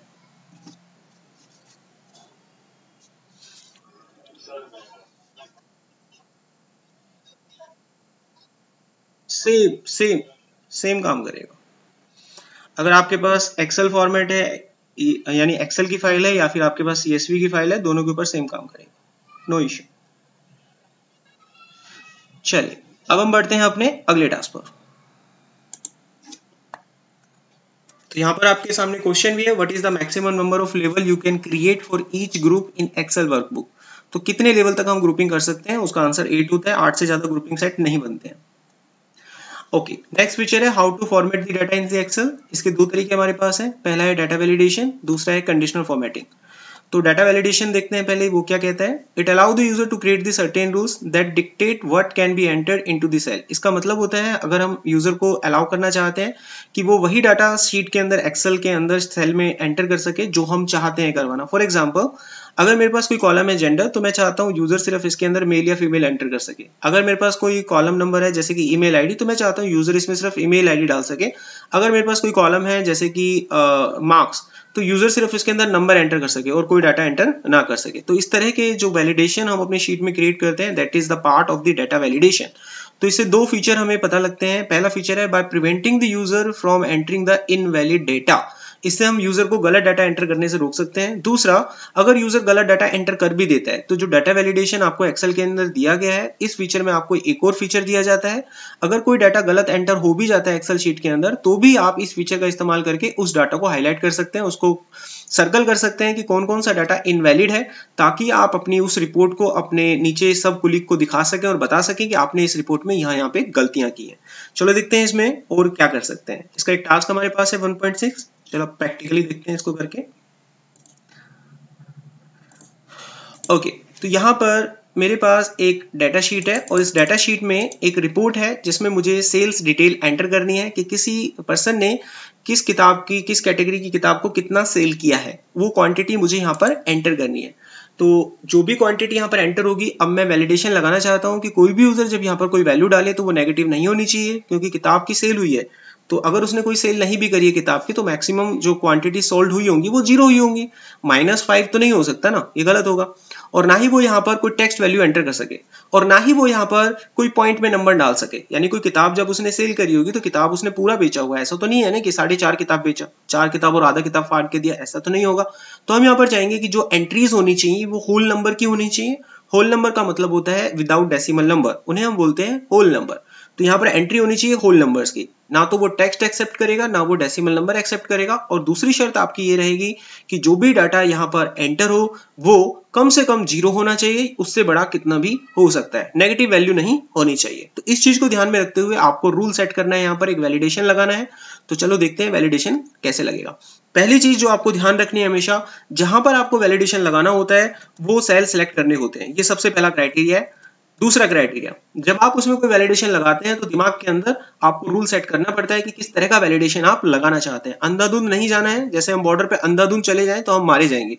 तो बॉर्डर पे जाने से पहले पूरी तैयारी होती है, जिसको हम बोलते हैं प्री ट्रेनिंग यानी प्री एक्सरसाइज पहले प्री युद्ध होता है प्री वार होता है। तो इसी तरीके से जब आप इसके अंदर कोई वैलिडेशन लगाए तो पहले प्लान होना चाहिए कि क्या लगाना चाहते हैं अदरवाइज़ सारा खेल खराब हो जाएगा। आपको कहाँ जाकर वैलिडेशन लगाना है? Go to the data tab then data validation data validation में जब आप जाएँगे तो यहाँ आपको मिलेगा सेटिंग करने का ऑप्शन तो आप सेटिंग वाले ऑप्शन पे जाएँ। यहाँ पर अलाउ करें whole number whole number allow करने के बाद आप यहाँ पर अपनी कंडीशन लगा दें। अब देखिए मैं यहाँ कंडीशन में क्या लिखूँगा। मैं यहाँ पर लिखता हूँ ग्रेटर देन और इक्वल टू ये मैंने कंडीशन ली। वैल्यू डाली किसके साथ? ज़ीरो के साथ। तो मैं चाहता हूँ यहाँ पर जो भी वैल्यू हो, या तो वो ज़ीरो के बराबर हो या उससे बड़ी हो। कंडीशन हमारी लग गई। कंडीशन आप कैसी भी लगा सकते हैं। सिर्फ़ आईक्यू हमें, हमारे पास होना चाहिए, कैसा लगाना चाहते हैं। मान लीजिए मैंने कंडीशन दी थी ग्रेटर देन तो मैं ग्रेटर देन ज़ीरो लिखूँगा, गड़बड़ हो जाएगा। तो ज़ीरो एक्सेप्ट नहीं करेगा ये। तो मैंने लिखा माइनस वन तो ये समझ जाएगा माइनस वन से बड़ा ज़ीरो होता है। तो ज़ीरो एक्सेप्ट करेगा, उससे बड़ी वैल्यू एक्सेप्ट करेगा। माइनस वन नहीं करेगा। तो आप ये भी लगा सकते हैं, ये भी ओके है। अब एक चीज़ और, अगर यूज़र गलत वैल्यू डालता है तो क्या होना चाहिए? एरर विंडो पे जाएँ जो भी एरर मैसेज आप दिखाना चाहते हैं, अपना टाइटल देना चाहते हैं, वो टाइटल लिखें। मैंने यहाँ लिखा एरर उसके बाद मैसेज जो यूज़र को आप देना चाहते हैं, अगर वो गलती कर रहा है तो आप उसको बोल सकते हैं। Please enter positive data value तो मैंने उसको एक मैसेज दिया। साथ में कोई सिंबल अगर आप उसको देना चाहते हैं, मैं उसको वार्निंग देना चाहता हूँ। अब आप इसे ओके कर दें। अब इसमें जब भी कोई डाटा एंटर होगा, वो नेगेटिव नहीं होगा, वो टेक्स्ट नहीं होगा, वो पॉइंट में नहीं होगा। चलो ट्राई करते हैं। मैंने लिखा टेन एंटर किया। इसने तुरंत मुझे एक वार्निंग दिया। मेरी विंडो खुली। विंडो को जो टाइटल मैंने बनाया था एरर वो मुझे आ रहा है। मैसेज जो मैंने दिया था, वो मुझे आ रहा है। उसके बाद ये डाटा को एंटर नहीं होने दे रहा। फिर भी वो उसे वार्न कर रहा है कि भाई डाटा एंटर करना है हाँ या ना। अगर वो अभी भी डाटा एंटर करता है और ये रिपोर्ट आपके पास आती है तो गलत डाटा एंटर हो चुका है, कोई बात नहीं। लेकिन अब आप उसको बता सकते हैं कि भाई होशो हवास में आपने डाटा गलत एंटर किया है कंप्यूटर ने तो आपको वॉर्न किया था। आपने फिर भी गलत डाटा एंटर किया, इसलिए वो अब इसको एंटर नहीं करेगा नो करेगा, अब इस डाटा को करेक्ट करेगा। चलो मैंने यहाँ पर ट्वेल्व लिखा। डाटा एंटर हो गया। मैं नेगेटिव की वैल्यू डालता हूँ। डाटा एंटर नहीं होगा। वो वॉर्न करेगा। उसके बावजूद भी अगर वो डाटा डालना चाहता है, डाल सकता है। यस कर सकता है। देखिए यस करते ही डाटा चला जाएगा। लेकिन कल को जब ये बॉस के पास रिपोर्ट जाएगी तो बॉस डायरेक्ट ऐसे चेक नहीं करता है। उसको रिव्यू होता है। तो ये रिपोर्ट पहले रिव्यू होगी। वो गलती देखेगा। इसमें कहाँ कहाँ गलती है? तो गलती देखना बहुत ही आसान है। वो कैसे देखेगा गलतियाँ को? वो देखिए, मैं इसमें कुछ एंट्रीज कर देता हूँ। गलत एंट्री भी कर देता हूँ कुछ। जब भी गलत एंट्री इसमें हुई थी तो उसको वार्निंग मिली थी बट फिर भी उसने गलत एंट्री करी, कोई बात नहीं। अब जो जो गलत एंट्रीज इसमें है, आप कैसे उसको पकड़ेंगे? आप वापस यहाँ पर जाएँ, यहाँ पर जाने के बाद डाटा वैलिडेशन पे जाएँ। डाटा वैलिडेशन पे जब आप जाएँगे तो यहाँ पर एक ड्रॉप डाउन लिस्ट होती है ये वाली, इस पर क्लिक करें, यहाँ आपको मिलेगा सर्कल इन वैलिड डेटा आपको इस पर क्लिक करना है। जो भी डाटा गलत था, वो तुरंत ही आपको बता देगा। रिपोर्ट को तुरंत मेल में रीमेल कर दें, रिप्लाई में डाल दें कि आपने डाटा गलत एंटर किया हुआ है। तो इस तरीके से हम शीट के अंदर डाटा वैलिडेशन लगा सकते हैं। चलो, एक टास्क और मैं इसके अंदर बताता हूँ कि अनसर्कलिंग डाटा आप कैसे लगा सकते हैं। सेम प्रोसेस रहेगा, बट थोड़ा डाटा चेंज हो जाएगा मेरा। तो मेरे पास यहाँ पर आप देख सकते हैं कि सैलरी शीट है। तो इस सैलरी शीट में मेरे पास एम्प्लॉय की आईडी है, नाम है, बेसिक सैलरी है, और जो भी कुछ सैलरी इन्फॉर्मेशन में पेरोल स्लिप में होता है, वो सारा डाटा यहाँ पर है। तो यहाँ पर गलती से नेगेटिव एंट्रीज हो गई आप देख सकते हैं। किसी की भी बेसिक सैलरी नेगेटिव नहीं होती है और किसी का भी एच नेगेटिव नहीं होता है। तो यहाँ पर कुछ डाटा जो है मेरे पास यहाँ गलत आ चुका है, आप देख सकते हैं। और ये प्रोविडेंट फंड नेगेटिव कैसे जा रहा है? तो कुछ एंट्रीज गलत है मेरे पास। तो मुझे इन एंट्रीज को सही करना है। तो मैं कैसे गलत एंट्रीज को सिलेक्ट करूँगा? तो सबसे सिंपल सी चीज़ है, जहाँ पर आपको वैलिडेशन लगाना है। क्योंकि मेरा वैलिडेशन लगेगा सबसे पहले, मैं एक्सेल को सेट करके दूँगा कि कौन सा डाटा अलाउ करना है। तो मैंने वो सारा डाटा सेलेक्ट कर लिया जहाँ पर मुझे वैलिडेशन प्रोवाइड कराना है एक्सेल में। तो डाटा को सिलेक्ट करने के बाद वापस से आप डाटा वैलिडेशन पे जाएँगे। यहाँ पर डाटा वैलिडेशन में जब आप जाएँगे तो सेटिंग करें इसमें कुछ। सेटिंग बहुत ही सिंपल है। किस तरह का डाटा आप अलाउ कर रहे हैं? डेसिमल वैल्यू क्योंकि इसमें पॉइंट आ रहा है, आप देखें ध्यान से। तो मैंने डेसिमल वैल्यूज़ को अलाउ किया। उसके बाद कंडीशन क्या होनी चाहिए कि वैल्यू आपकी पॉजिटिव होनी चाहिए। तो पॉजिटिव वैल्यू कैसे आप निकाल सकते हैं? अगर वो वैल्यू ग्रेटर देन और इक्वल टू ज़ीरो हो। आपने कंडीशन लगाई ओके कर दिया। तो आपने एक्सेल को बता दिया कि आप कैसा डाटा यहाँ पर चाहते हैं। अब एक्सेल से आप कहें कि प्लीज़ कोई डाटा अगर इसमें गलत है, उनको प्लीज़ सर्कल कर दें। तो जैसे आप ये क्लिक करेंगे, जो जो भी एंट्रीज इसमें गलत थी, वो सारी एंट्रीज आप यहाँ देख सकते हैं, वो मार्क हो गई हैं। बाद में कभी आपको ये एंट्रीज हटानी हो करेक्ट कर ली हो अपने अगर तो करेक्ट करने के बाद आप ये एंट्री हटाना चाहते हैं तो क्लियर कर सकते हैं validation circle like this way अब मैं आपके पास आता हूँ पूछने के लिए डाटा वैलिडेशन का ये फॉर्मेट समझ आ गया आप लोगों को? प्लीज़ वेरीफाई चैट विंडो का यूज़ कर सकते हैं ताकि मैं आपका मैसेज पढ़ सकूँ? Yes okay sir Arvind sir आपको? ओके गॉट इट चलिए, अब हम बढ़ते हैं अपने नेक्स्ट टास्क के पास। तो अब हमारे पास अगला टास्क है हाईलाइटिंग द डेटा यानी फॉर्मेटिंग द डेटा इसको करने के काफ़ी सारे रूल होते हैं हमारे पास। तो पाँच रूल तो यहाँ पर आप देख सकते हैं। Highlight cell rule icon set colour scale top bottom rule data bar एक एक करके देखेंगे कैसे कैसे होते हैं ये। तो user defined the conditional formatting criteria can be created by using the new formula dialog box as shown in the following figure ये एक एडवांस लेवल का टास्क आ गया, यानी ये वाला। इसमें आप जब कंडीशनल फॉर्मेटिंग लगाते हैं तो मैं कंडीशनल फॉर्मेटिंग कुछ प्री डिफाइंड रूल्स होते हैं, उनका यूज़ करके लगा सकते हैं। कुछ ऐसे डाटा सेट होते हैं जिनका कोई रूल नहीं होता तो हम खुद अपना रूल बनाते हैं और उसके ऊपर कंडीशनल फॉर्मेटिंग अप्लाई करते हैं। दोनों चीज़ों को देखेंगे। सबसे पहले हम देखते हैं नॉर्मल कंडीशनल फॉर्मेटिंग उसका टास्क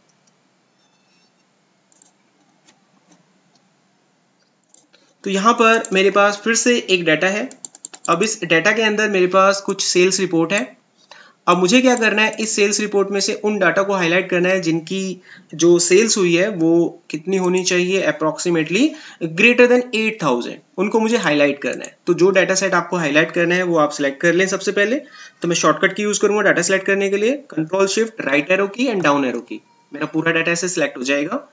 डाटा को सिलेक्ट करने के बाद कंडीशन फॉर्मेटिंग पे जाना है। कंडीशनल फॉर्मेटिंग पे जाने के बाद आप उन डाटा को हाईलाइट करना चाहते हैं जिनकी वैल्यू ग्रेटर देन हो। ग्रेटर देन कितना चाहिए हमें, वो हम डालेंगे अभी। मैं चाहता हूँ वो वैल्यू हाईलाइट हो जाए, जिनकी वैल्यू 8000 से ज़्यादा हो।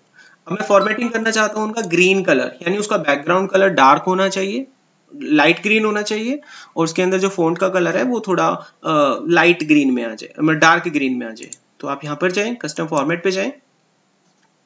थोड़ी देर में एक विंडो ओपन हो जाएगी कस्टम फॉर्मेट जैसे ही आप करेंगे। ये विंडो ओपन होने के बाद अगर आपको बैकग्राउंड कलर कुछ करना होता है तो फिल पे जाके आप कर सकते हैं। फिल पे जाएँ और यहाँ से बैकग्राउंड कलर ले लें। तो मैंने लाइट ग्रीन ले लिया। उसके बाद फ़ोन का कलर चेंज करना है तो फ़ोन पे जाएँ। यहाँ से आप थोड़ा डार्क ग्रीन ले सकते हैं। जो भी आप चाहें, मैं डार्क ग्रीन नहीं, मैं येलो ले लेता हूँ और इसको ओके करते हैं। तो ये सैंपल आप देख सकते हैं, वहाँ पर आ चुका है। तो जिनकी भी एंट्रीज ग्रेटर देन 8000 है, वो डाटा सेलेक्ट हो चुका है। देख सकते हैं। अब मान लीजिए मुझे इसी डाटा सेट में एक और अप्लाई करना है, जिनकी भी यहाँ पर वैल्यूज़ लेस देन 5000 है, मुझे उसको रेड करना है। तो डाटा आप पहले सिलेक्ट कर लें पूरा। डाटा को सिलेक्ट करने के बाद फिर से condition formatting highlight the rule less than तो लेस देन वैल्यू कितना होना चाहिए? 5000 क्या करना है? मुझे उसको रेड करना है। बैकग्राउंड कलर रेड नहीं करना है, मुझे उसका फ़ोन का कलर रेड करना है बस। तो custom format background colour red नहीं करना है, इसको नो कलर रहने दें, ये वाला। फ़ोन का कलर आप रेड करना चाहते हैं तो आप उसको रेड करें। तो फ़ोन का कलर सिर्फ़ रेड हो जाएगा। तो ये सिर्फ़ उन डाटा को यहाँ पर इंप्लीमेंट कर रहा है, जिसकी वैल्यू 5000 से कम है। देख सकते हैं 5000 को इसने नहीं छेड़ा 8000 को इसने नहीं छेड़ा।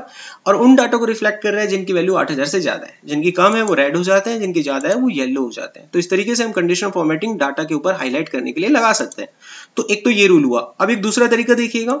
इसके ऊपर मैंने कंडीशनल फॉर्मेटिंग लगा दिया है लेटर सपोज़ अब मेरे को ये हटाना है। तो हटाने का तरीका सिंपल है। आप पूरा डाटा सेट ऐसे सिलेक्ट करें। कंडीशन फॉर्मेटिंग पे जाएँ, यहाँ पर आपको मिलेगा क्लियर रूल तो इसमें दो तरीके होते हैं। एक होता है सिलेक्टेड डाटा जो डाटा आपने सिलेक्ट किया सिर्फ़ वहीं से हटाना है तो ये वाला, ऊपर वाला। अगर इस शीट में कहीं पर भी कोई रूल आपने लगा रखा है तो वो पूरा ही हटाना है तो एंटायर शीट तो मैं एंटायर शीट कर देता हूँ। डाटा मेरा हट गया। अब दूसरा रूल कंपनी के मैनेजर ने आपको बोला कि टॉप के तीन बंदे सिलेक्ट करके लाओ, कि भाई टॉप के थ्री सेल्स किस किस की है। तो सबसे पहले आप डाटा सिलेक्ट करें पूरा। उसके बाद कंडीशन फॉर्मेटिंग में टॉप बॉटम रूल तो टॉप के तीन बंदे चाहिए। तो यहाँ पर आपको तीन लिखना है। तो तीन लोग हाईलाइट कस्टम फॉर्मेटिंग आप अपने आप से कर सकते हैं तो अब मैं वो नहीं कर रहा हूँ। मैं सीधा ओके करता हूँ तो प्री डिफाइंड कस्टम फॉर्मेटिंग आप देख सकते हैं। तो तीन टॉप के बंदे हाईलाइट हो चुके हैं। ऐसे आपको बॉटम के तीन लोग चाहिए। टॉप के तीन हो गए बॉटम के तीन आपको ग्रीन करने हैं। तो क्या करना है? डाटा फिर से सिलेक्ट कर लेना है। और बॉटम के तीन लोग ले लीजिएगा। बॉटम तीन। यहाँ पर लिख दीजिए थ्री और कलर यहाँ से मैं दे देता हूँ। कुछ और दे देते फॉन्ट का कलर मैं कर देता हूँ something like complete red only तो जो बॉटम के तीन लोग हैं, वो ये वाले लोग हैं। तो आपको यहाँ पर डाटा दिखने लगेगा। अब एक रूल और देखते हैं जरा। इसको मैंने कंप्लीट सेलेक्ट किया। और रूल जो भी लगाए हैं, वो मैं हटा देता हूँ। ओके अब एक डाटा सेट में खुद का क्रिएट करता हूँ। देखता हूँ इसमें बना हुआ है कि नहीं। ये डाटा सेट मेरे पास यहाँ पर बना हुआ है। जरा इसको मैं समझाता हूँ कि कैसे यहाँ पर लगा, बना एवरीथिंग ताकि आप इसको आसानी से समझ सकें। ये डाटा मैं कॉपी करता हूँ। यहाँ पर साइड में लगा देता ठीक है? अब जरा इसको ध्यान से देखना ये मैं क्या करने वाला हूँ। यहाँ पर आप देख रहे हैं, कुछ बच्चों के नंबर है, नाम है। तो टोटल जो मेरा पेपर था वो 100 मार्क्स का था। ये बच्चे हैं जिन्होंने स्कोर गेन किया है। अब मुझे इस तरह का डाटा बार सिस्टम बनाना है यहाँ पर साइड में। भाई टोटल मार्क्स 100 है तो बार देख सकते हैं आप और बाकी इसके हिसाब से इसका डिवीज़न दिखा रहा है मुझे। तो इस तरह के जो ग्राफ है वो हम यहाँ पर कैसे बनाएँगे? ठीक है? तो करना कुछ नहीं है, आपको ये डाटा सिलेक्ट करना है पूरा ये वाला। और डाटा को सिलेक्ट करके ऐसे आप इसे कॉपी करें और यहाँ पर डालें। इतना डालने के बाद अब देखिए नेक्स्ट क्या करना है? इस पे जो कलर वगैरह लगा हुआ है, आप इसको हटा दें तो बेटर है। तो मैं इसको क्लियर कर देता हूँ क्लियर फॉर्मेट या क्लियर ऐसे लाइक दिस वे तो कोई फॉर्मेटिंग अब इसके पास नहीं है। अब आप इसको सिलेक्ट करें। कंडीशनल फॉर्मेटिंग पे जाएँगे, ये रहा डाटा बार कोई भी कलर फॉर्मेट जो आपको अच्छा लगे, आप ले लीजिए। मैं ये ले लेता हूँ। तो कलर फॉर्मेट यहाँ पर आ गया है। अब आप कहेंगे, सर नंबर लिखे हुए नंबर तो हटे नहीं। तो चलो मैं बता देता हूँ। नंबर हटाने के लिए आप कलर फॉर्मेटिंग पे दोबारा जाए या मैनेज रूल पे जाए। तो आप देखेंगे, ये वाला रूल है आपका मैनेज रूल पर आप आ गए हैं, इसको एडिट करें। जब आप इसको एडिट करेंगे तो यहाँ पर आपको दिखेगा शो बार ओनली इसको चेक कर दें। तो सिर्फ़ आपको बार दिखाई देगा, ठीक है? अब आप इसको ओके करें। अप्लाई करें, देखिए हट गया वो ओके करें। तो यहाँ से जो नंबर है वो हट जाएँगे, सिर्फ़ आपको बार बार दिखाई देगा। तो ये इस तरीके से बन जाता है। अच्छा अब मैं आपको दिखाता हूँ इसको कलर में कैसे हाईलाइट करते हैं। जैसे आप यहाँ देखिए मेरा टोटल पेपर 100 मार्क्स का था ये बच्चों ने स्कोर गेन किया है ठीक है? तो जो भी स्कोर 100 के पास होगा वो ग्रीन में आएगा जो स्कोर आ, सबसे कम होगा बॉटम पे होगा बॉटम स्कोर कितना है इस लिस्ट में? साठ है। तो ये सबसे लीस्ट स्कोर है तो ये रेड आएगा। तो जो स्कोर सबसे टॉप पे रहता है सबसे ज़्यादा होता है वो ग्रीन आता है और जो स्कोर सबसे कम होता है वो रेड आता है। और जो भी स्कोर इस कम वाले स्कोर के पास रहेगा, जितना नज़दीक रहेगा, वो उतना रेड के पास आता जाएगा और जो स्कोर 89 यानी ज़्यादा वाले स्कोर के पास रहेगा, वो ग्रीन होता चला जाएगा और जो बीच के स्कोर होते हैं, वो येलो हो जाते हैं। तो इस तरीके से एक एवरेज सिस्टम होता है कंफर्मेशन का। तो ये उसको फॉलो कर रहा है। अब ये बना कैसे, जरा वो देखते हैं। इसी का एक हेल्पर मैंने यहाँ साइड में लिया, ऐसे, ठीक है? अब मैं क्या करूँगा, इसके ऊपर जो फॉर्मेटिंग लगा हुआ है, पहले तो वो हटा देता हूँ मैं यहाँ से। Clear rule from the selected data set सिर्फ़ इसी वजह से मैंने हटाया। अब आपको ये डाटा सेट ऐसे सिलेक्ट कर लेना है और इसके बाद कंडीशन फॉर्मेटिंग पे जाके कलर स्केल देना है। कोई भी कलर स्केल जो आपको ठीक लगे। चलो मैं ये वाला दे देता हूँ। तो मैंने ये कलर स्केल दिया। तो जैसे आप ये कलर स्केल देंगे तो आप देख सकते हैं ना स्कोर तो ये मतलब ज़्यादा नज़दीक है रेड में। मैंने कलर स्केल ऐसा दिया, इसलिए आपको दिख रहा है तो मैंने कलर स्केल उल्टा वाला दिया। जिनका स्कोर ज़्यादा है वो रेड में जा रहा है, ठीक है? और जिनका स्कोर सबसे कम है वो ग्रीन में जा रहा है। मैंने रिवर्स करके कलर स्केल दिया। तो इस तरीके से आप कलर स्केलिंग भी दे सकते हैं। एक तरीका होता है सिंबल का, ये देखिए सिंबल जैसे शेयर मार्केट का सिंबल होता है ना जिसका स्केयर सबसे टॉप में होता है ग्रीन सिग्नल ऊपर की तरफ़ जा रहा है, जो इसका कम होता है, वो नीचे की तरफ़ जा रहा है एवरेज वाले न्यूट्रल रहते हैं। तो ये डाटा कैसे आ रहा है, इसको भी जरा देख लेते हैं। तो मैं ये डाटा नंबर लेता हूँ पहले। कॉपी किया या साइड में लगा दिया? अब इस पर जो फॉर्मेटिंग है वो मैं हटा देता हूँ पहले। अब मुझे इसको सिंबल में सेट करना है, पूरे डाटा सेट को। सिलेक्ट करा इसको कंडीशन फॉर्मेटिंग पे गए, यहाँ पर आपने ले लिया आइकन सेट जो भी आइकन सेट आपको अच्छा लगे। तो चलो green signal red signal yellow signal ये ले लेते हैं हम। झंडे वाला फ्लैग वाला सिस्टम ओके किया, आप देख सकते हैं। ग्रीन झंडा मतलब ये टॉप पे जा रहे हैं, ये आगे है। रेड वाले ये नीचे चल रहे हैं बॉटम पे रेस में पीछे है, और ये एवरेज है। तो इस तरीके से हम इन सिस्टम्स को यूज़ करते हैं, अपनी शीट्स को, अपने डैशबोर्ड को बनाने के लिए आगे काम आते हैं डाटा को हाईलाइट करने में। और ये कंडीशनली भी काम करते हैं। कंडीशनल इन द सेंस देखिए, अभी ये कंडीशनली नहीं होंगे, लेकिन ये होंगे। चला, मैं बताता हूँ कैसे। अब इस डाटा को मैं चेंज करके दिखाता हूँ। मैंने बारह लिखा, ये रिफ्लेक्ट हुआ। बट ये नहीं हो रहा होगा। अब मेरा सवाल है आपसे, ऐसा क्यों? ये नहीं हुआ। ऐसा क्यों? अब देखते हैं आप में से कौन इसका रिप्लाई दे पाता है। एनीबडी वो हुआ रिफ्लेक्ट ये नहीं हुआ। ऐसा क्यों? प्लीज़ रिप्लाई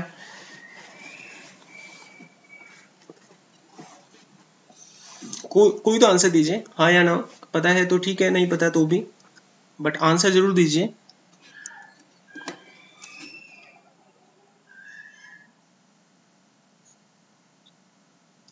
ओके क्वेश्चन देखिए क्या था? ये अब मेरे पास एक डाटा सेट है। मैंने सेम इसी की तरह ये डाटा सेट यहाँ बनाया आप लोगों के सामने। मैंने कोई चेंजेस नहीं करा। सेम टू सेम वही चीज़ मैंने यहाँ पर बनाई। यहाँ पर ये जो डाटा सेट का आप बार देख रहे हैं सिंबल देख रहे हैं, ये रिफ्लेक्ट होता है इस डाटा के ऊपर। मान लीजिए पवन का स्कोर 76 है तो इसने 76 परसेंट ये सेल जो है ऑक्यूपाई कर रखा है।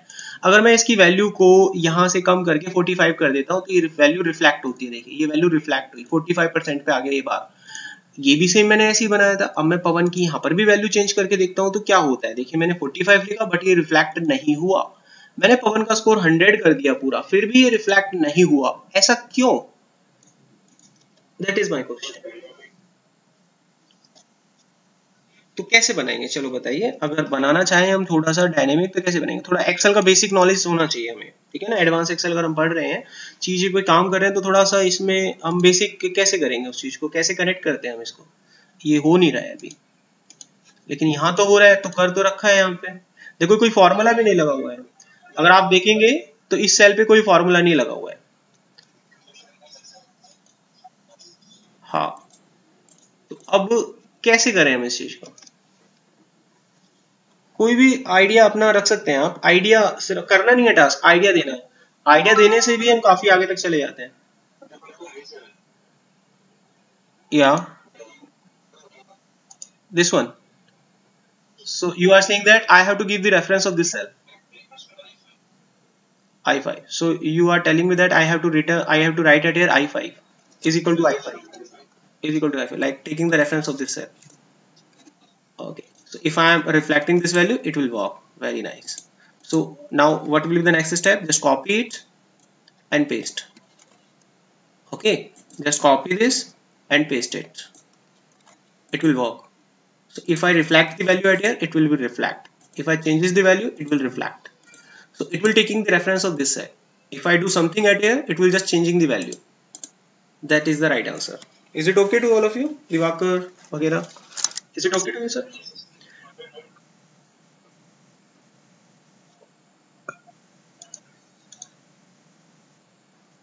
Manually नहीं है. ये मैनुअली नहीं है. हमने एक्चुअली क्या है यहाँ पर एक फॉर्मूले का अप्लाई करा है. कंडीशनल फॉर्मेटिंग हम ऑलरेडी कर चुके हैं. कंडीशनल फॉर्मेटिंग एक अलग चीज़ है. ये कंडीशनल फॉर्मेटिंग में पाँच तरह के फॉर्मेटिंग होती है. एक होता है डाटा को हाईलाइट करने के लिए. अब हमें डाटा को हाईलाइट नहीं करना था. मुझे बारिंग सिस्टम लगाना था.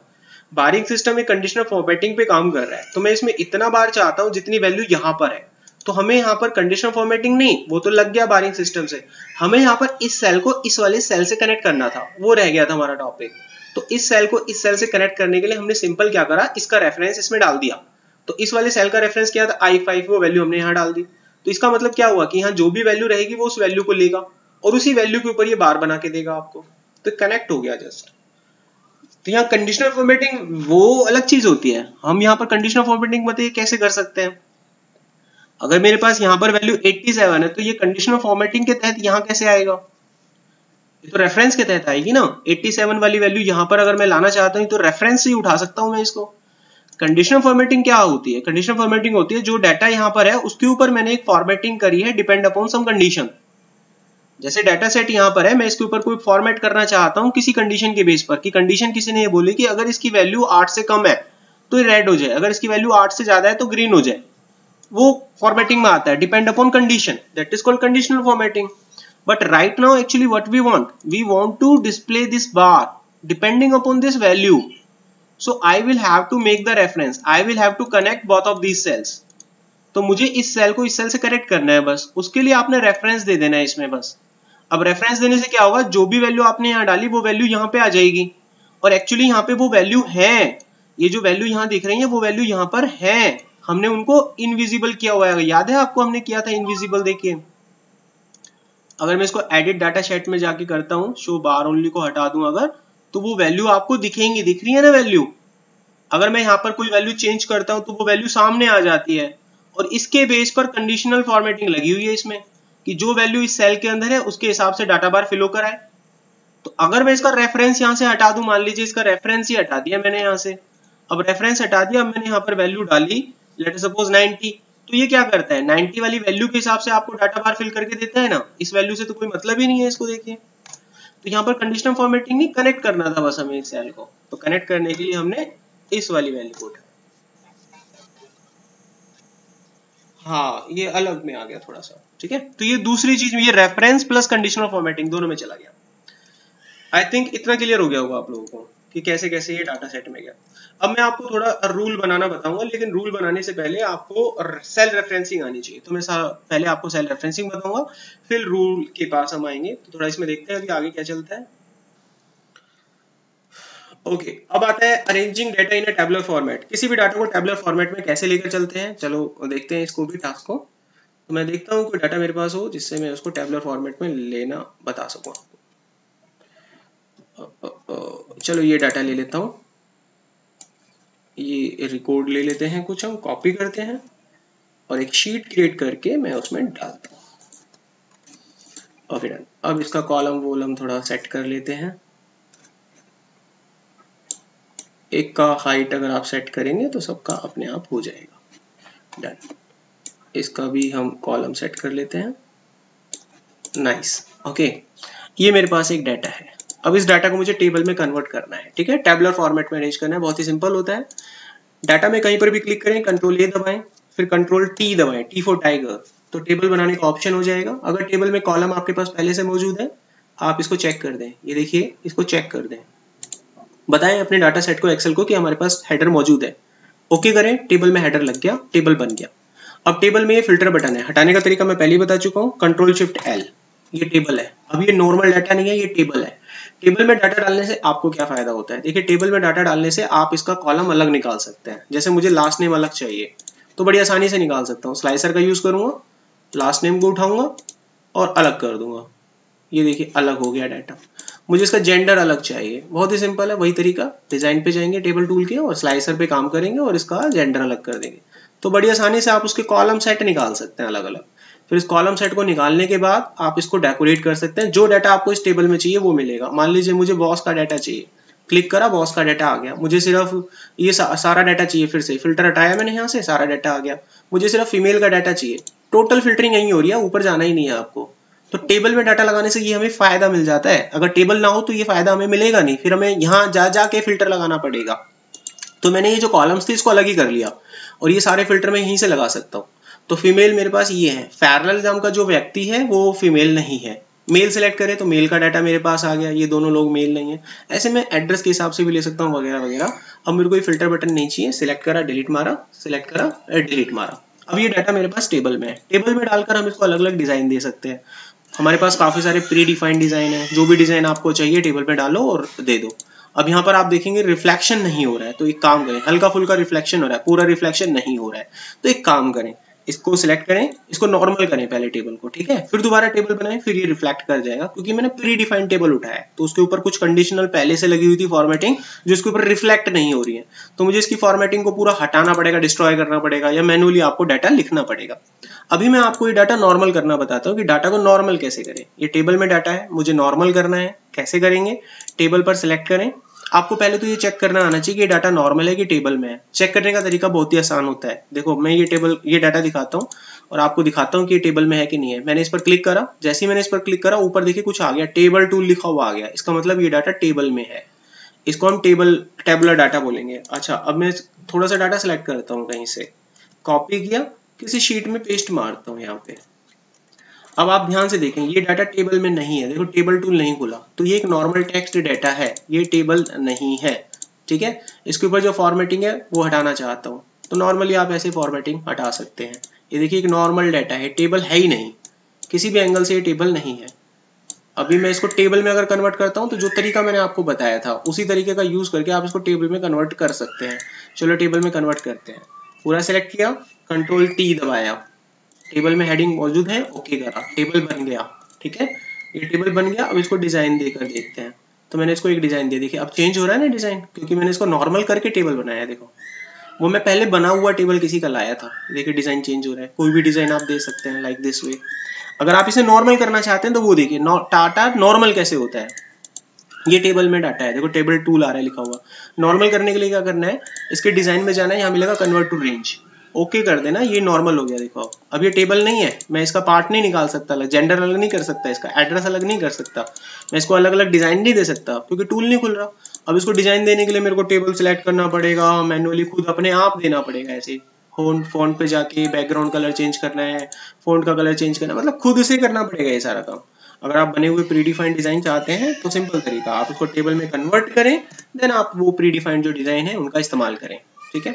तो ये टेबल में डाटा को लाने का तरीका होता है। आई थिंक मैं उम्मीद करता हूँ कि ये आ गया होगा आपको समझ में कि टेबल में डाटा लाने से आपको क्या फ़ायदा हो सकता है और नॉर्मल जो डाटा हमारे पास होता है, उसको टेबल में कैसे लाते हैं? और कोई डाटा अगर टेबल में होता है तो उसको नॉर्मल कैसे करते हैं? तो दोनों तरीके I think is it clear to all of you अब हम बढ़ते हैं अपने अगले टॉपिक पे। किसी को डाउट होता है तो सेशन के दौरान भी आप बोल सकते हैं, ठीक है? तो आप यहाँ पर देखेंगे हमने ये पहला चैप्टर कंप्लीट कर लिया है। So I have completed this one but अभी हमारा डे वन का काम खत्म नहीं हुआ है। अभी इसको थोड़ा और कंटिन्यू करेंगे, क्योंकि हमारा टारगेट आठ घंटे का है। आठ घंटे में हमें कंप्लीट करना होगा। अब यहाँ पर देखिए हमारे पास अगला रेफरेंसिंग आता है। ये बहुत ही आसान है, दस मिनट में आप इसे सीख जाएँगे, और ये इंपॉर्टेंट भी है कि रेफरेंसिंग हम क्यों इस्तेमाल करते हैं। रेफरेंसिंग जब तक आप नहीं सीखेंगे, वो न्यू रूल नहीं सीख सकते, जो हम कंडीशनल फॉर्मेटिंग में लगाते हैं। तो चलिए मैं आपको रेफरेंसिंग के बारे में बताता हूँ।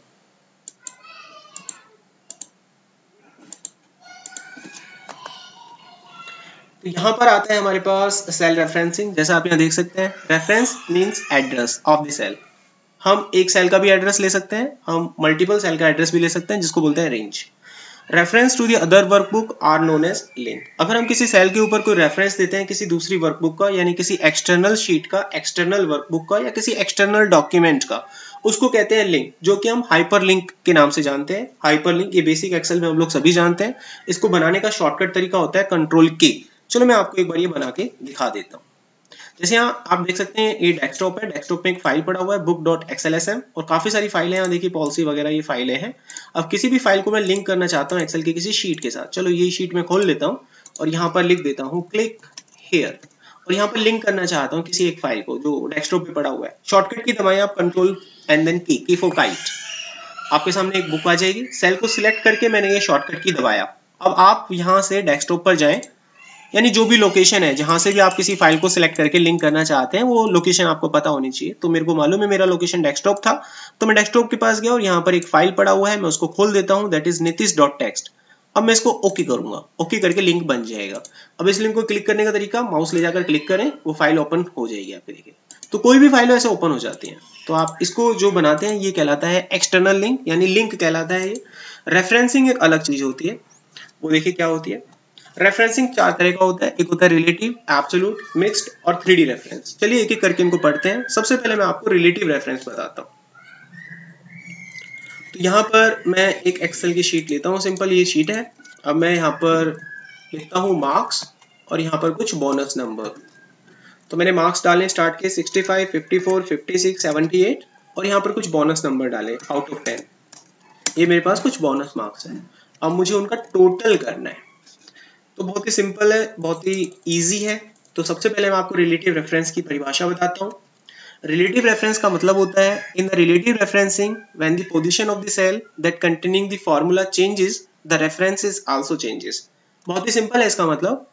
मैं करूँगा प्रैक्टिकली फिर उस मतलब को आपको एक्सप्लेन कर दूँगा। देखिए, मुझे इन दोनों सेल को ऐड करना है, यानी 65 और बोनस मार्क्स ऐड करने हैं। तो मैंने 65 का रेफरेंस लिया। नाम देख सकते हैं क्या आ गया? C5 अब मैंने फोर नंबर वाले सेल का रेफरेंस लिया, नाम आ गया D5 एंटर किया, काम हो गया। अब मैंने सेल को कॉपी किया और इस सेल को कॉपी करके नीचे पेस्ट कर दिया। तो अभी जो मैं अभी फ़िलहाल मैं कहाँ पर हूँ? E5 में हूँ। और मैंने इसको कहाँ पर पेस्ट किया है? E6 में। तो मैंने अपनी एक रो चेंज करी है। यानी रो में इंक्रीमेंट हुआ है। तो क्या होगा? रेफरेंस भी इंक्रीमेंट हो जाएगा। देखिए रेफरेंस इंक्रीमेंट हो गया। आपको समझाता हूँ कैसे। मेरा जो फॉर्मूला लगा हुआ था, वो लगा हुआ था रो नंबर फाइव में। मैंने उसके बाद इसी फॉर्मूले को कॉपी करके लगाया रो नंबर सिक्स में। तो मेरी रो एक कदम आगे बढ़ी। अब यहाँ देखिए हुआ क्या। इसने जो रेफरेंस ले रखा था, वो ले रखा था C5 और D5 का। तो इसने जो रेफरेंस ले रखा था, वो इन दो सेल का ले रखा था। तो इसका जो रेफरेंस था, वो भी एक रो आगे बढ़ जाएगा। और जब वो रेफरेंस आगे बढ़ेगा तो ये रेफरेंस उठाएगा इस वाले सेल का। इसी चीज़ को वहाँ पर डिफाइन किया गया, देखिए। In relative referencing when the position of the cell that containing the formula changes reference is also changes वही काम यहाँ पर हो रहा है। जिस सेल में आपने फॉर्मूला लगाया है, अगर आप इसका रेफरेंस चेंज करते हैं तो जो रेफरेंस आपने इस पे लगाया था, उसका भी रेफरेंस चेंज हो जाएगा। तो आपने ये फॉर्मूला इन दो सेल पे लगाया था। अगर आपने इस फॉर्मूले की पोजीशन एक रो आगे बढ़ाई तो रेफरेंस भी एक रो आगे बढ़ गया। अगर अभी भी समझ में नहीं आया तो फिर से एक्सप्लेन करता हूँ। अगर मैं इसको कॉपी करूँ, ध्यान से देखना। अगर मैं इसको कॉपी करूँ और कॉपी करके यहाँ पर पेस्ट करूँ तो कितनी रो आगे बढ़ा? मैं दो रो आगे बढ़ा। तो अभी ये इन पे लगा हुआ है। बाद में अगर मैं यहाँ पेस्ट करूँगा तो ये किस पे लगेगा? इन दोनों पे लग जाएगा। देखिए कॉपी और ये पेस्ट आई थिंक समझ में आ रहा होगा ये इस पे लग गया। तो इसे हम बोलते हैं रिलेटिव रेफरेंस चलिए अब मैं आपको एब्सोल्यूट रेफरेंस के बारे में बताता हूँ। This is our second part absolute reference देखिए क्या होता है। In absolute reference, the position of the cell containing the formula does not change even if you move or copy the formula to the another. इसका मतलब होता है कि अगर आप किसी सेल में किसी भी तरह का कोई फॉर्मूला लगाते हो रेफरेंस लेकर, अगर आपने वो रेफरेंस एब्सोल्यूट करके लिया हुआ है तो रेफरेंस नहीं बदलेगा, भले आप फॉर्मूले की पोजीशन बदल दीजिए। चलो मैं आपको करके दिखाता हूँ। मान लीजिए मैंने ये वाला सेल लिया और उसको रिलेटिव की बजाय मैं एब्सोल्यूट कर देता हूँ। एब्सोल्यूट का मतलब होता है रो और कॉलम जो आपको यहाँ देख रहे हैं। अगर कोई हमसे पूछे कि कौन सा कॉलम है तो हम बोलेंगे सी कोई पूछे रो क्या है तो हम बोलेंगे फाइव तो कॉलम सी है रो नंबर फाइव है। इन दोनों को लॉक करना है मुझे। तो लॉक करने के लिए आप दबा दीजिए शिफ्ट F4 जैसे ही आप F4 फ़ंक्शन दबाएँगे, ये दोनों जो रो आपको दिख रही हैं, ये लॉक हो जाएँगे। लॉक हो चुकी हैं। गॉट इट अब मैं इस वाले सेल का रेफरेंस लेता हूँ और इसको भी कर देता हूँ लॉक तो ये भी लॉक हो गया। अब मैं एंटर करता हूँ। अब अगर मैं इसकी पोजीशन को बदलूँगा तो रेफरेंस नहीं बदलेगा। रेफरेंस लॉक हो चुका है। देखिए, मैंने कॉपी किया, यहाँ पेस्ट किया। कुछ नहीं हुआ। 69 आ रहा है। इसको कॉपी किया और यहाँ पेस्ट किया। कुछ नहीं हुआ। 69 आ रहा है। ये इसी सेल पे काम कर रहा है। ये भी इसी सेल पे काम कर रहा है अभी भी और ये भी अभी इसी सेल पे काम कर रहा है। रेफरेंस नहीं बदला। इसको हम कहते हैं एब्सोल्यूट रेफरेंस इसका हम कहाँ पर यूटिलाइजेशन कर सकते हैं? चलो मैं आपको बताता हूँ। मान लीजिए इस बार डाटा मेरे पास कुछ ऐसा है। किसी मैनेजर ने हमें बोला कि भाई, ये बच्चों के मार्क्स है और ये बोनस है। ऊपर लिख दिया उन्होंने बोनस अब सभी बच्चों को एक ही बोनस देते हैं। उन्होंने बोला कि चार नंबर है, सबके ऐड कर दो। तो हम अपने नॉर्मल तरीके से चलकर देखते हैं क्या होता है। अगर मैं इस सेल को ऐड करूँ, इस वाले सेल के साथ, और इसी फॉर्मूले को कॉपी कर दूँ सभी के साथ तो गलत आंसर आने लगेगा। देखिए, क्यों आ रहा है गलत आंसर सिंपल है, देखिए। इसका रेफरेंस है ये सेल अगर मैं यहाँ पर जाऊँगा तो एक एक रो नीचे बढ़ा वो भी देखिए। तो ये खाली वैल्यू उठा रहा है, देखो। अगर मैं और नीचे जाता हूँ तो वो और नीचे वाली वैल्यू उठा रहा है, खाली वैल्यू उठा रहा है।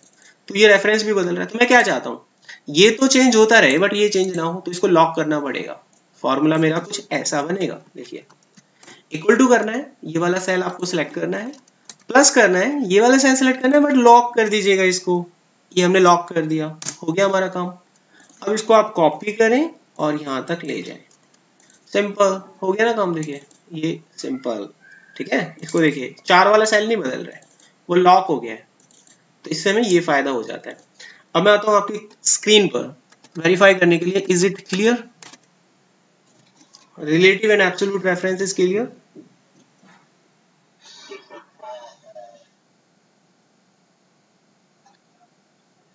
yes yes. You have to just press the f4 you or you can manually type the dollar sign before the row or before the column. Uh, so it will just lock that cell so that the reference will never change. If you change the cell value that contain the formula then your reference will never change at any cost. Okay? Okay so चलिए, अब हम बढ़ते हैं इसमें third type पर। देखिए third type of reference that is known as a mixed reference तो mixed reference में क्या होता है? इसके अंदर हम एक को लॉक करते हैं, एक को अनलॉक रहने देते हैं। यानी इसमें एब्सोल्यूट और रिलेटिव दोनों चलते हैं। यानी मैंने रो को लॉक कर दिया कॉलम को नहीं करा, या फिर मैंने कॉलम को लॉक कर दिया रो को लॉक नहीं करा। That is known as a mixed reference ये सबसे ज़्यादा यूज़ होता है ध्यान रखिएगा। सबसे ज़्यादा यूज़ होने वाला जो टाइप होता है, वो होता है मिक्स्ड रेफरेंस चलिए, इसका भी एक एग्ज़ाम्पल लेते हैं। तो मैं अपने स्क्रीन पर आता हूँ वापस और यहाँ पर एक एग्ज़ाम्पल लेकर दिखाता हूँ।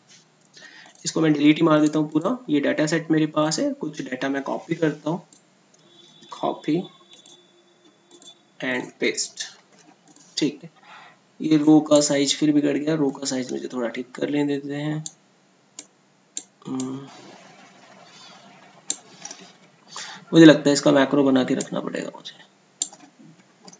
ओके okay, इसका कॉलम साइज़ थोड़ा चेंज कर देते हैं. गॉट इट गुड अच्छा आप देखिए मान लीजिए मैं यहाँ पर एक रेफरेंस उठाता हूँ. ध्यान से देखना. मैंने रेफरेंस उठाया नेम ऑफ़ द एप्लीकेंट ठीक है? अब रेफरेंस उठा लिया. किसी ने बोला मेरे को मेरे बॉस ने बोला कि भाई हेडिंग सारा सेम ले लो डाटा हम बदल के लिखेंगे. अब हेडिंग मुझे सारा सेम लेना था जो ऊपर लिखा हुआ है. उन्होंने बॉस ने मुझे यही बोला. भाई देखो ऊपर वाला जो डाटा सेट है ना उसमें जो हेडिंग है वो सारा हेडिंग ले लो आप. तो हमारे दिमाग में क्या है मैंने इसका रेफरेंस उठा के डाल दिया. तो जो यहाँ होगा वो यहाँ आ जाएगा. इससे गड़बड़ हो गया. गड़बड़ क्या हुआ? किसी बंदे ने इस सेल को कॉपी कर लिया और यहाँ पे डाल दिया। तो क्या होगा? वो इसका डाटा कॉपी करके लेने लगेगा। देखो नीचे की तरफ़। ले रहा है ना? इसको कॉपी करके और नीचे लाओगे तो वो इसका डाटा लेने लगेगा। देखो, ये गलत हो गया। डाटा आना ही नीचे था इसे ये गलत हो गया। मेरे को डाटा यहाँ चाहिए ही नहीं। मैं चाहता हूँ कि सिर्फ़ इसकी रो यानी इसकी कॉलम तो कॉपी हो और रो कॉपी ना हो। तो देखिए, अब मैं क्या लॉजिक लगाऊँगा? देखिए जरा ध्यान से। मैं इसको डिलीट मारूँगा। यहाँ पे रेफरेंस लूँगा। सेल को उठाऊँगा। मैं चलो इसको थोड़ा जूम कर लेता हूँ, ताकि थोड़ा अच्छे से आपको दिखाई दे। और इसको जूम करके इसको थोड़ा सेट करने के लिए मैं तीन चार रो इसकी गायब कर देता हूँ। गायब कर देता हूँ। फॉर्मेट को भी डिलीट मार देते हैं, ताकि ये भी ना रहे। तो क्लियर फॉर्मेट चलो, पूरी तरह से खत्म हो गया। अब यहाँ देखिए, मैं रेफरेंस ले रहा हूँ इस सेल का। देखना। मैंने इस सेल का रेफरेंस लिया। इस सेल का रेफरेंस लूँगा तो मैं क्या चाहता हूँ कि रो लॉक हो जाए। यानी रो कॉपी ना हो तो रो को लॉक कर दूँगा। ये देखिए डॉलर लगा दिया मैंने इसके साथ, ऐसे। ठीक है? कॉलम को लॉक नहीं कर रहा हूँ, क्योंकि मुझे कॉलम तो कॉपी करना है ना, जो ऊपर है। तो नेम ऑफ़ एप्लीकेंट के बाद मैं डेट ऑफ़ बर्थ चाहता हूँ, उसके बाद मैं फादर नेम चाहता हूँ एड्रेस चाहता हूँ फ़ोन नंबर चाहता हूँ। तो मैंने इसको लॉक नहीं किया, इसको मैंने खुला रहने दिया। रो को लॉक कर दिया, देखिए, ठीक है? एंटर किया, मेरा काम बन गया। अब इसको मैं अगर इस साइड स्ट्रेच करता हूँ रेफरेंस को चेंज करता हूँ, ये देखिए कॉलम मेरे बिल्कुल परफेक्ट आ गए ठीक है? लेकिन अगर मैं इसको नीचे की तरफ़ स्ट्रेच करूँगा डाटा कभी भी नहीं आएगा, ऊपर से देखो, कभी नहीं आएगा, क्योंकि वो तो मैंने लॉक कर दिया। तो डाटा आया ही नहीं मेरे पास तो ये चीज़, ये थोड़ा हमें ध्यान रखना है कि किस तरीके से हमने इसको लॉक करना है, किस तरीके से लॉक नहीं करना है, ठीक है? अब थोड़ा इसको रिवर्स करके दिखाता हूँ उल्टा करके दिखाता हूँ। जैसे कि मुझे इस बार ये डाटा नीचे की तरफ़ तो लाना है ऐसे, लेकिन कॉलम नहीं आना चाहिए, ठीक है? ये नहीं, मेरे को रो को फ्री करना है कॉलम को लॉक करना है इस बार, ठीक है? तो मैंने फिर से सेल लिया, इसको पिक किया और मैंने इस बार क्या करा? कॉलम को लॉक कर दिया, ध्यान से देखना। मतलब को समझिए, चीज़ें अपने आप आने लगेंगे, ठीक है? कॉन्सेप्ट समझ जाइए बस। कोडिंग अपने आप आता है प्रोग्रामिंग अपने आप होती है। कॉन्सेप्ट समझिए। मैंने कॉलम को लॉक किया। अब क्या होता है इससे देखिए। कॉलम को लॉक किया तो कॉलम से कुछ नहीं होगा और मैं कितना ही बढ़ा लू इसको। ये हमेशा नेम ऑफ़ एप्लीकेंट ही रहेगा, देखिए। ये बदला ही नहीं। लेकिन रॉ को मैंने लॉक कभी नहीं किया था तो रो बदलता चला जाएगा, देखिए। ये रो बदलता चला जाएगा एवरीवेयर ये देखिए। तो ये इसे हम कहते हैं मिक्स्ड रेफरेंस ये बहुत काम आएगा। इस पर हम न्यू रूल जब बनाते हैं तो इसी बेस पर बनाते हैं। काफ़ी सारे जो रूल्स आपके बनेंगे, वो इसी बेस पर बनेंगे। चलिए मैं आपको अब रूल बना के भी दिखाता हूँ। एक रूल बनाते हैं, चलिए। तो रूल क्या बनाए? जरा हम देख लेते हैं किस चीज़ का रूल आप बनाना चाहते हैं। तो मेरे को एक डेटा चाहिए होगा, कुछ ढंग का सा। चलो, इसी पे लेता हूँ और ढंग का सा डाटा बनाते हैं इसको। एक रूल इस पे अप्लाई करके दिखा देता हूँ मैं आपको। ओके okay, मेरे पास ये डाटा है और इसमें मैं एक कॉलम और ऐड कर देता हूँ. Let suppose the column number is employee ID employee ID डाल देते हैं यहाँ पे. One two one two four six eight three ठीक है? ये मैंने आईडी डाल दिया. अभी सेम फॉर्मेट में यहाँ पर लगा देता हूँ. ओके डन अब आपको दिख रहा होगा कि मेरे पास एक टेबल है और इस टेबल में मेरे पास कुछ रिकॉर्ड्स हैं. अब मुझे क्या करना है? इन सभी रिकॉर्ड को चेक करना है। कंडीशनल फॉर्मेटिंग के बेस पर चेक करना है। मैं आप लोग को देता हूँ पहला टास्क पहले आप लोग बताएँ कैसे होगा? क्या आप नॉर्मल तरीके से कर सकते हैं कि नहीं कर सकते हैं? अगर नहीं कर सकते तो फिर मैं आऊँगा और फिर आपको भी बताऊँगा। तो मेरा पहला टास्क ये है कि किसी भी एम्प्लॉय की आईडी यहाँ पर मैं डालूँगा। समथिंग लाइक मैंने फोर डाला। तो आपको जो रिकॉर्ड नंबर फोर है, वो डाटा हाईलाइट करना है। यानी वो रिकॉर्ड हाईलाइट हो जाना चाहिए इस डाटा सेट में। तो ये काम आप कैसे करेंगे? अगर मैं एम्प्लॉय की आईडी यहाँ बदलकर वन कर देता हूँ तो ये डाटा हाईलाइट हो जाना चाहिए यानी इसका बैकग्राउंड कलर येलो हो जाए अपने आप automatic then how to make it possible please आप में से कोई भी anybody should try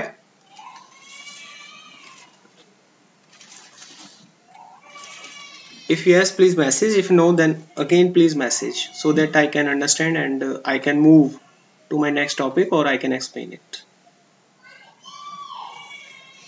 anybody can do this if I am enter at any employee ID let us suppose if it is 8 then it will highlight the data if there are two employee ID is 8 then it will highlight both the record that containing the employee ID 8 so that is my task yeah how to make it possible yeah please tell me कैसे करें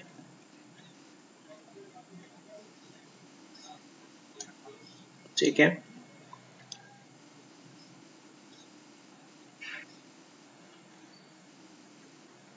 if I select this then it will be unselected.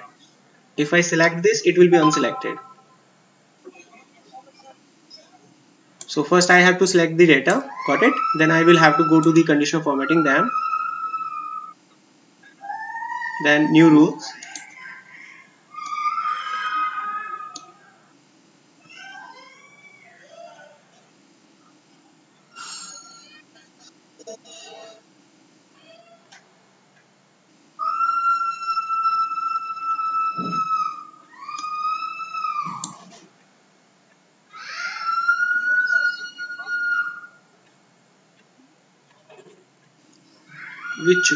which formula we have to apply? Which format? Second one okay. Then there is this one. What criteria you have to fill? Between yeah tell me between tell me the number. You you want to replace this with equal to and 8 if I get it 8 like this way. Okay then. Format. Uh, give the background color yellow. Okay. But it select only this data. I want to select complete record. I required uh, the selection of complete record and it is not depend upon this cell. If I change the value at here it will not reflect. It has already selected. So if I am making it at here 2 then it will be unselected. It will be unformatted. I required this will become unformatted. But right now it is again highlighted. So it is not connected with this cell. If I am making it here 1 so there will be no reflection. So I think uh, uh, are you getting my point actually what I required okay so how to make it possible? So first of all I am removing the formatting now uh, watch it carefully how to use the new rule formula in conditional formatting. So let us suppose anybody enter at here any value and I want to select that record from this data set. So how to use this conditional formatting? First of all select the data where you want to apply the formatting. So this is the area where I want to require the formatting. So I am selecting it first then go to the conditional formatting click on the new rule. So when you click on the new rule you are seeing at the bottom side at least use a formula to determine which cells you require a format. So I will have to apply at here my own formatting my own referencing. So how to make it possible? So just put the pointer click on ok is equal to symbol then select the reference of this cell okay but before selecting this reference I am selecting this cell. Just watch it carefully and listen carefully. It is very important point. I am selecting this cell. So when I select this cell actually you can see the both the uh, rows and the columns are locked. You can see both the rows and the columns are locked right now. So actually what I require I want to search this record with this value. Am I correct or wrong? I want to search this value with this value so I have to make it comparison if this value is equal to this one okay then I will have to give the formatting so which type of formatting I want to give I want to give the yellow color so after that I am click on OK so it will give the yellow color but don't press OK जल्दबाजी में okay मत press करना अभी इसको समझिए ठीक है अभी देखिए यहाँ पर क्या हो रहा है अब इसका मतलब समझिए, ये F3 है। F3 मतलब ये वाला सेल तो ये वाला सेल किसके साथ कंपेयर होगा? I3 के साथ, यानी 6 के साथ। ये वैल्यू और ये वैल्यू कंपेयर होगी। फिर बाद में क्या होगा? ये वैल्यू और ये वैल्यू कंपेयर होगी। मैंने डाटा तो पूरा सिलेक्ट किया है। तो मैं चाहता हूँ अगली बार अगली बार सिलेक्ट होना चाहिए एट और सिक्स अगली बार कंपेयर होना चाहिए एट और सिक्स अगली बार कंपेयर होना चाहिए four and six then six और सिक्स ये मैच कर जाएगा। जैसे ये मैच कर जाएगा तो जो डाटा मैंने सिलेक्ट कर रखा है, वो येलो हो जाएगा। ओके तो ये करेंगे कैसे? ये तो जा ही नहीं रहा ना, क्योंकि लॉक कर रखा है आपने। तो मैं इसकी रो को अनलॉक कर दूँगा, ताकि वन के बाद एट कंपेयर हो एट के बाद फोर कंपेयर हो फोर के बाद सिक्स कंपेयर हो। तो आपको इसकी रो को अनलॉक करना है। इसलिए मैंने कहा था मिक्स्ड फॉर्मेटिंग बहुत यूज़ होगा। ये ध्यान से समझना है। कॉन्सेप्ट को रटना नहीं है, दिमाग में बैठा लो एक बार बस। समझ लो। समझ लिया? तो काम खत्म। बस। यही होती है पढ़ाई, यही होती है स्टडी तो मैंने इसकी रो को फ्री कर दिया कॉन्सेप्ट को समझा। अब मैं करता हूँ ओके देखते हैं जरा होता क्या है। सुपर हो गया? अच्छा मैं चेक करता हूँ। वन लिखता हूँ वन सुपर चलो चलो चेक करते हैं। एट लिखते हैं eight now very easy simple देखिए, चीज़ों को समझो, हुआ क्या? देखिए, यहाँ पर जादू ये नीचे से यहाँ से स्टार्ट करता है और नीचे तक सर्च करता है। एक एक करके वैल्यू यहाँ से कंपेयर हो रही है। ये वैल्यू नहीं बदल रही है, क्योंकि मैंने इसको लॉक कर दिया था। बट इसको मैंने लॉक नहीं किया था रो में। कॉलम में लॉक कर दिया था। कॉलम में लॉक कर दिया था तो क्या हो रहा है? ये वैल्यू इसके साथ कंपेयर नहीं हो रही है। इसके साथ कंपेयर नहीं हो रही है। ये सिर्फ़ यहाँ कंपेयर कर रहा है। इसको इससे कंपेयर कर रहा है। ये वाला जो सेल है it is comparing this one it is comparing this one it is comparing this one it is match so it will become yellow it is comparing this one, it is comparing this one, it is comparing this one. Like this one if i'm putting at here 8 what will happen it will comparing this one it will comparing this one match become yellow comparing this one then comparing this one then comparing this one match become yellow are you getting my point what is happening right now actually so so, ये तरीका है highlight करने का मैं आपकी screen पे आ रहा हूँ और पूछना चाहूँगा कि is it confirmation okay nice चलिए अब ये तो बात हो गई, इसकी अब जरा कॉलम पे बात आ जाती है। कॉलम पे कैसे करेंगे हम? चलो, ये सवाल भी मैं आप लोगों के ऊपर दे देता हूँ। तो मैं कॉलम की लिस्ट बनाऊँगा ध्यान से देखना। इस पे जो मैंने फॉर्मेटिंग लगाई है, वो मैं हटा रहा हूँ। Clear rule clear entire sheet यहाँ पर एक लिस्ट बनाता हूँ फॉर्मेटिंग की। तो ये पूरे कॉलम मुझे यहाँ पे चाहिए, एक ही सेल के अंदर, पूरे कॉलम तो कैसे आते हैं? डाटा पे जाओ डाटा वैलिडेशन पे जाओ। अलाउ करो एक लिस्ट सोर्स दे दो इसको इस लिस्ट का ये रहा। ओके करो। इसमें पूरा डाटा आ गया, देखो, ये देखिए। सुपर फ़ोन नंबर आ गया एवरीथिंग अब कोई भी कॉलम मैं यहाँ से सिलेक्ट कर सकता हूँ। अब मेरा टास्क क्या है? जो कॉलम में सिलेक्ट करूँ, वो हाईलाइट हो जाए। दिस इज़ माई टास्क चलिए, अब आप में से देखते हैं कौन बता पाता है। जैसे मैंने सिलेक्ट किया फ़ोन नंबर तो फ़ोन नंबर हाईलाइट हो जाए। How many of you can do this please try try ज़रूर करें। बने ना बने, बात की बात है। कोई करना चाहेगा try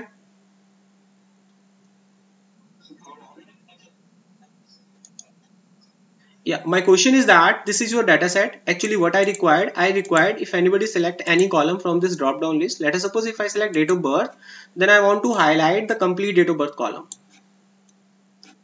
It will become highlighted. So how to highlight any column? Depend upon this cell. If i select any column from here it will be highlighted. Is it clear to you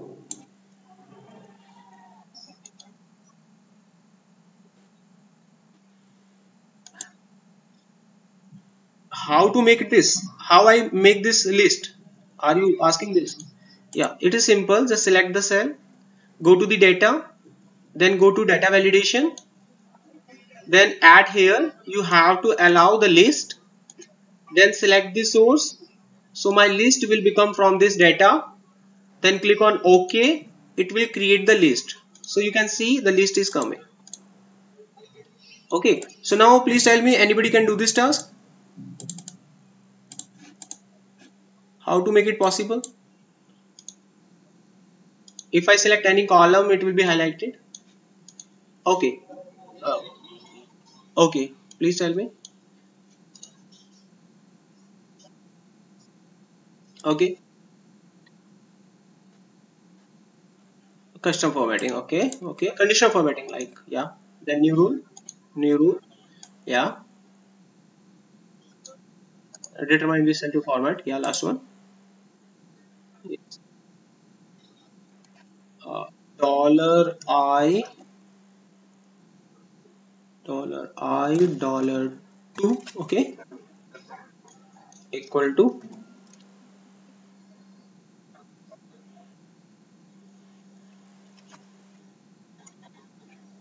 uh, a dollar 2 like this way? Very nice. Yes yes very good sabash. Mm, very good. Okay. So here actually uh, what you are doing you are actually locking the row but you are not locking the column. Because you want to compare this column with this one then next column with this one and so on. You are correct. Bilkul right hai. Okay kare? Then complete. Very easy. So if i select any other column it will be highlighted. If i select date of birth it will be highlighted. So it is very easy. If you do like this way uh, your task will become awesome.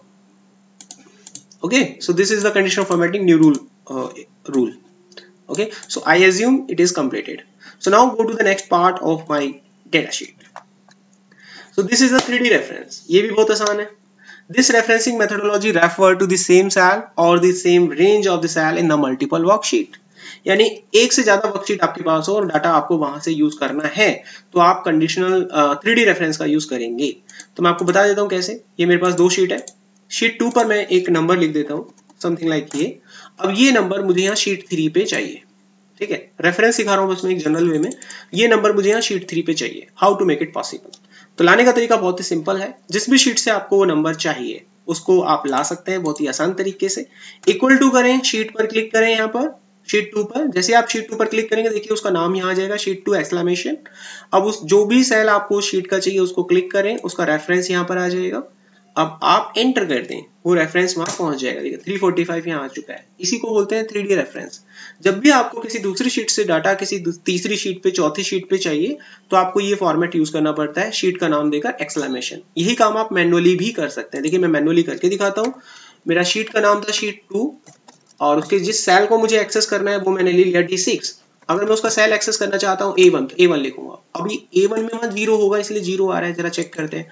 कुछ नहीं है मतलब by default zero होगा। मैं चलो आठ लिख के दिखाता हूँ। मैंने यहाँ पर एट लिखा तो यहाँ पर भी आपको एट दिखाई दे रहा है, क्योंकि मैंने इसको शीट टू के सेल ए वन से कनेक्ट कर रखा है। तो इसको बोलते हैं थ्री रेफरेंस जब आप मल्टीपल शीट से रेफरेंसिंग लेते हो सेम शीट से रेफरेंसिंग लेते हो तो वो आपका रिलेटिव एब्सोल्यूट और मिक्सड के अंदर आ जाता है। लेकिन जब आप दूसरी शीट से लेते हो तो वो आपका कहलाता है थ्री रेफरेंस एक बार कंफर्म करें क्या आप लोगों को चारों रेफरेंस क्लियर हो गए हैं। रिलेटिव एब्सोल्यूट मिक्सड और थ्री रेफरेंस वेरी गुड तो मैं उम्मीद करता हूँ कि आज एक दिन का सेशन अटेंड करने से आपने कुछ सीखा होगा। यानी काफ़ी कुछ अपग्रेडेशन आई होगी हमारे अंदर। कि हम लोग अपने आप को कितना बेहतर बना सकते हैं किसी भी ट्रेनिंग को लेकर। तो एक दिन का कंटेंट हमने कर लिया है ऑलमोस्ट तो इसमें अब डिफाइन नेम यूज़ फार्मूला रह जाते हैं, जिसमें से मैं डिफाइन नेम को अभी बताने वाला हूँ। और ये कुछ फॉर्मूलेज हैं जिनको मैं बाद में कभी आपको कराऊँगा। तो डे टू का सेशन थोड़ा सा हम कोलैप्स करके यहाँ पर ले आते हैं। तो डिफाइन नेम मैं अभी कंप्लीट कर देता हूँ। उसके बाद डे टू के सेशन में क्या क्या आएगा, वो आपको नेक्स्ट संडे को पता लगेगा। नेक्स्ट संडे की टाइमिंग मैं आपको ग्रुप में डाल दूँगा, क्योंकि हम तीन ही लोग हैं तो टाइमिंग अगर एक दो घंटा ऊपर नीचे होगी तो मुझे नहीं लगता कि कोई प्रॉब्लम हमारे साथ होने वाला है। क्योंकि नेक्स्ट संडे से मैं वीबीए का भी बैच स्टार्ट करने वाला हूँ, ठीक है? तो अभी मैं डिफाइन नेम बता देता हूँ। डिफाइन नेम बहुत ही आसान चीज़ होती है। मैं एक बार देख लीजिए यहाँ पर। डिफाइन नेम का इस्तेमाल किया जाता है किसी भी सेल पर जाने के लिए किसी भी सेल पर जाने के लिए। जैसे फॉर एग्जांपल मुझे आ, इन लोगों को बार बार इंडिकेट करना पड़ता है जॉम टीम से लेकर पैट ग्रीन तक। ये मुझे इंडिकेट करने पड़ते हैं या फिर ये डाटा मुझे बार बार यूज़ करना पड़ता है। तो इसका एक नाम आता है यहाँ पर तो सी एट इसका स्टार्टिंग नेम आ रहा है बट बाकी का नाम नहीं है तो मुझे याद रखना पड़ेगा या रेंज को उठाना पड़ेगा। तो मैं इसको क्यों ना नाम दे दूँ? इस पूरे डाटा सेट को नाम दे दूँ। अगर मैं देखूँ तो ये क्या है? सी एट से लेकर सी तेरह तक का डाटा है। तो मैं इसको नाम देना चाहता हूँ। How to give the name go to the formula click on the defined name अब इसको एक नाम दे दीजिए आप। तो मैं इसको नाम दे देता हूँ Q1 कुछ भी दे दीजिए। मैंने Q1 दे दिया। अब मैं इसको ओके okay करता हूँ। तो मैंने इसको आज से एक नाम दे दिया Q1 भविष्य में कभी भी मुझे उस डाटा पे जाना है। तो उस सेल का नाम होता है ना? जैसे समथिंग लाइक मैं यहाँ कुछ लिखता हूँ तो उस सेल पे चला जाता है उस सेल का नाम होता है। जैसे मैंने एम वन लिखा तो मैं उस सेल पे चला गया, आप देख सकते हैं, मैं एम वन पे चला गया। तो मुझे मेरे वाले सेल का नाम पता है। क्या नाम था उसका? क्यू वन कभी भी मुझे उस सेट पे जाना है। तो देखो चले गए ना? सिंपल है। दैट इज़ अ वे अब मैं इसको यूज़ भी कर सकता हूँ किसी भी फॉर्मूले मान लीजिए मैंने एक रेंज और दे दी है, मैं किसको दे देता हूँ? इसको भी एक नाम दे देता हूँ। इसको Q2 कर देता हूँ नाम। तो डिफाइंड नेम पे गए, मैंने इसको एक दूसरा नाम दे दिया। दैट इज़ अ Q2 ये देखिए, मैंने Q2 इसको नाम दे दिया। तो मेरे पास दो रेंज है।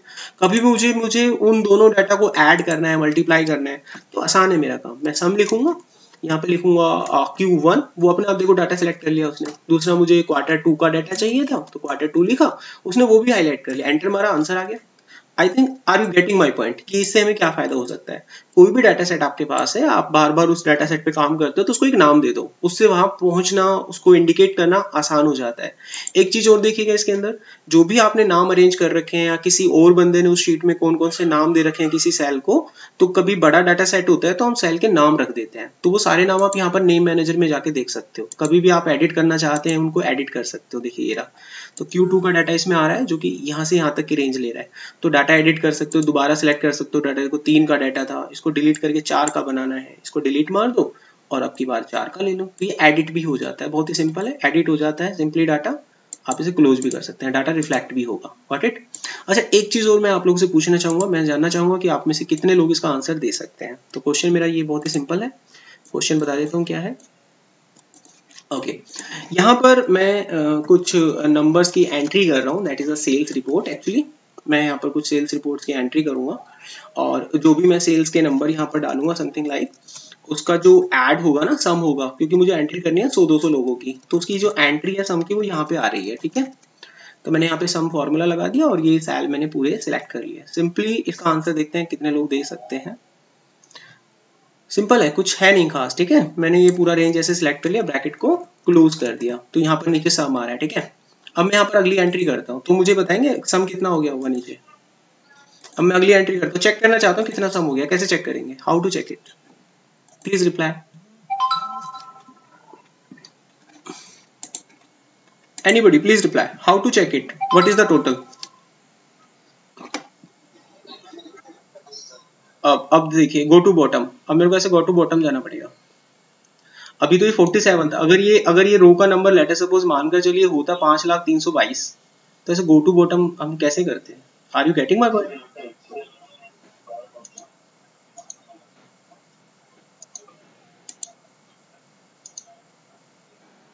हाँ बताइए, मैं जैसे यहाँ पर कोई वैल्यू डाल रहा हूँ तो मुझे कैसे पता चलेगा इन सब का टोटल कितना है? मुझे डायरेक्ट देखना है ना मुझे टोटल देखना है कितना बन गया। तो मेरे को तो स्क्रॉल करके नीचे जाना ही पड़ेगा ना कोई दूसरा रास्ता है तो वो मैं जानना चाहता हूँ। क्या कोई दूसरा रास्ता है? इसके अलावा how to check it what is the total actually I want to see this data but for watching this data I have to scroll but I don't want to scroll then how to make it possible because this data is not on the row number 47 let us suppose this data on the row number uh, 5 lakh 3000 then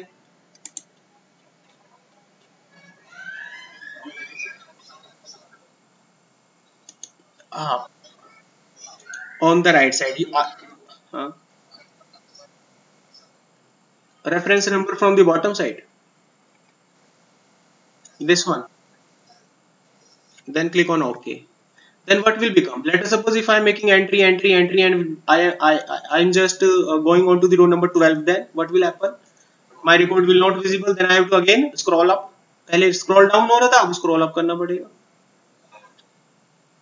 it is not a right way. Then any any suggestion, any idea?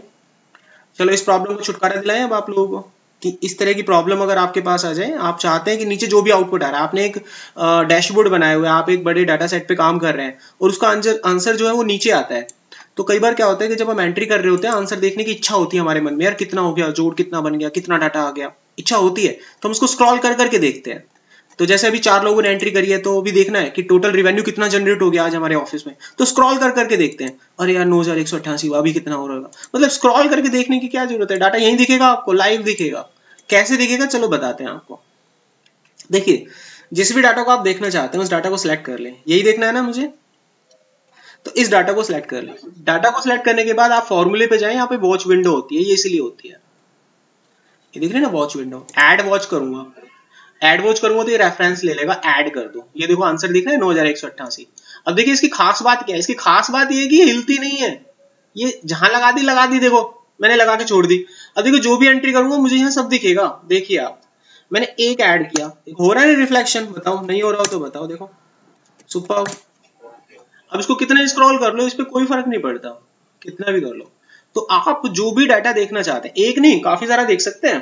कोई दूसरा data यहाँ पर है उसको भी देखना चाहते हैं। ऐड कर दो तो दूसरे का डाटा भी इसमें ऐड हो जाएगा लाइक दिस में तो इसका रिज़ल्ट भी यहाँ लाइव दिखता रहेगा आपको। तो इसका इस्तेमाल हम यहाँ पे करते हैं। तो ये वॉच विंडो हमें इसलिए दिया गया है तो आप इसका इस्तेमाल कर सकें। I think my session has completed right now so अभी देख लेते हैं टाइम हम कितना कवर कर चुके हैं। तो डेढ़ घंटे का सेशन आज हमारा चला है। तो करीब साढ़े छः घंटे का क्लास और रहेगा। तो साढ़े छः घंटे आप इसी तरीके से साथ रहिएगा। आपको ये सब कुछ सिखा दिया जाएगा। कुछ भी नहीं बचेगा। विद डाउट क्लियरेशन सब कुछ आप सीख जाएँगे। आई थिंक मैं आज का सेशन बंद कर सकता हूँ. Is it okay to all of you समझ आया सबको? चलो, ठीक है. नेक्स्ट सेशन में मिलते हैं. संडे को टाइमिंग मैं आपको कंफर्म कर दूँगा और जो भी मैंने ये सैंपल डाटा लिए एक्सेल के, ये आप लोग को कुछ देर के बाद आपके व्हाट्सएप पर मैं भेज दूँगा. आज के लिए बस इतना ही. टेक केयर बाय बाय मिलते हैं next next time bye bye take care welcome welcome sir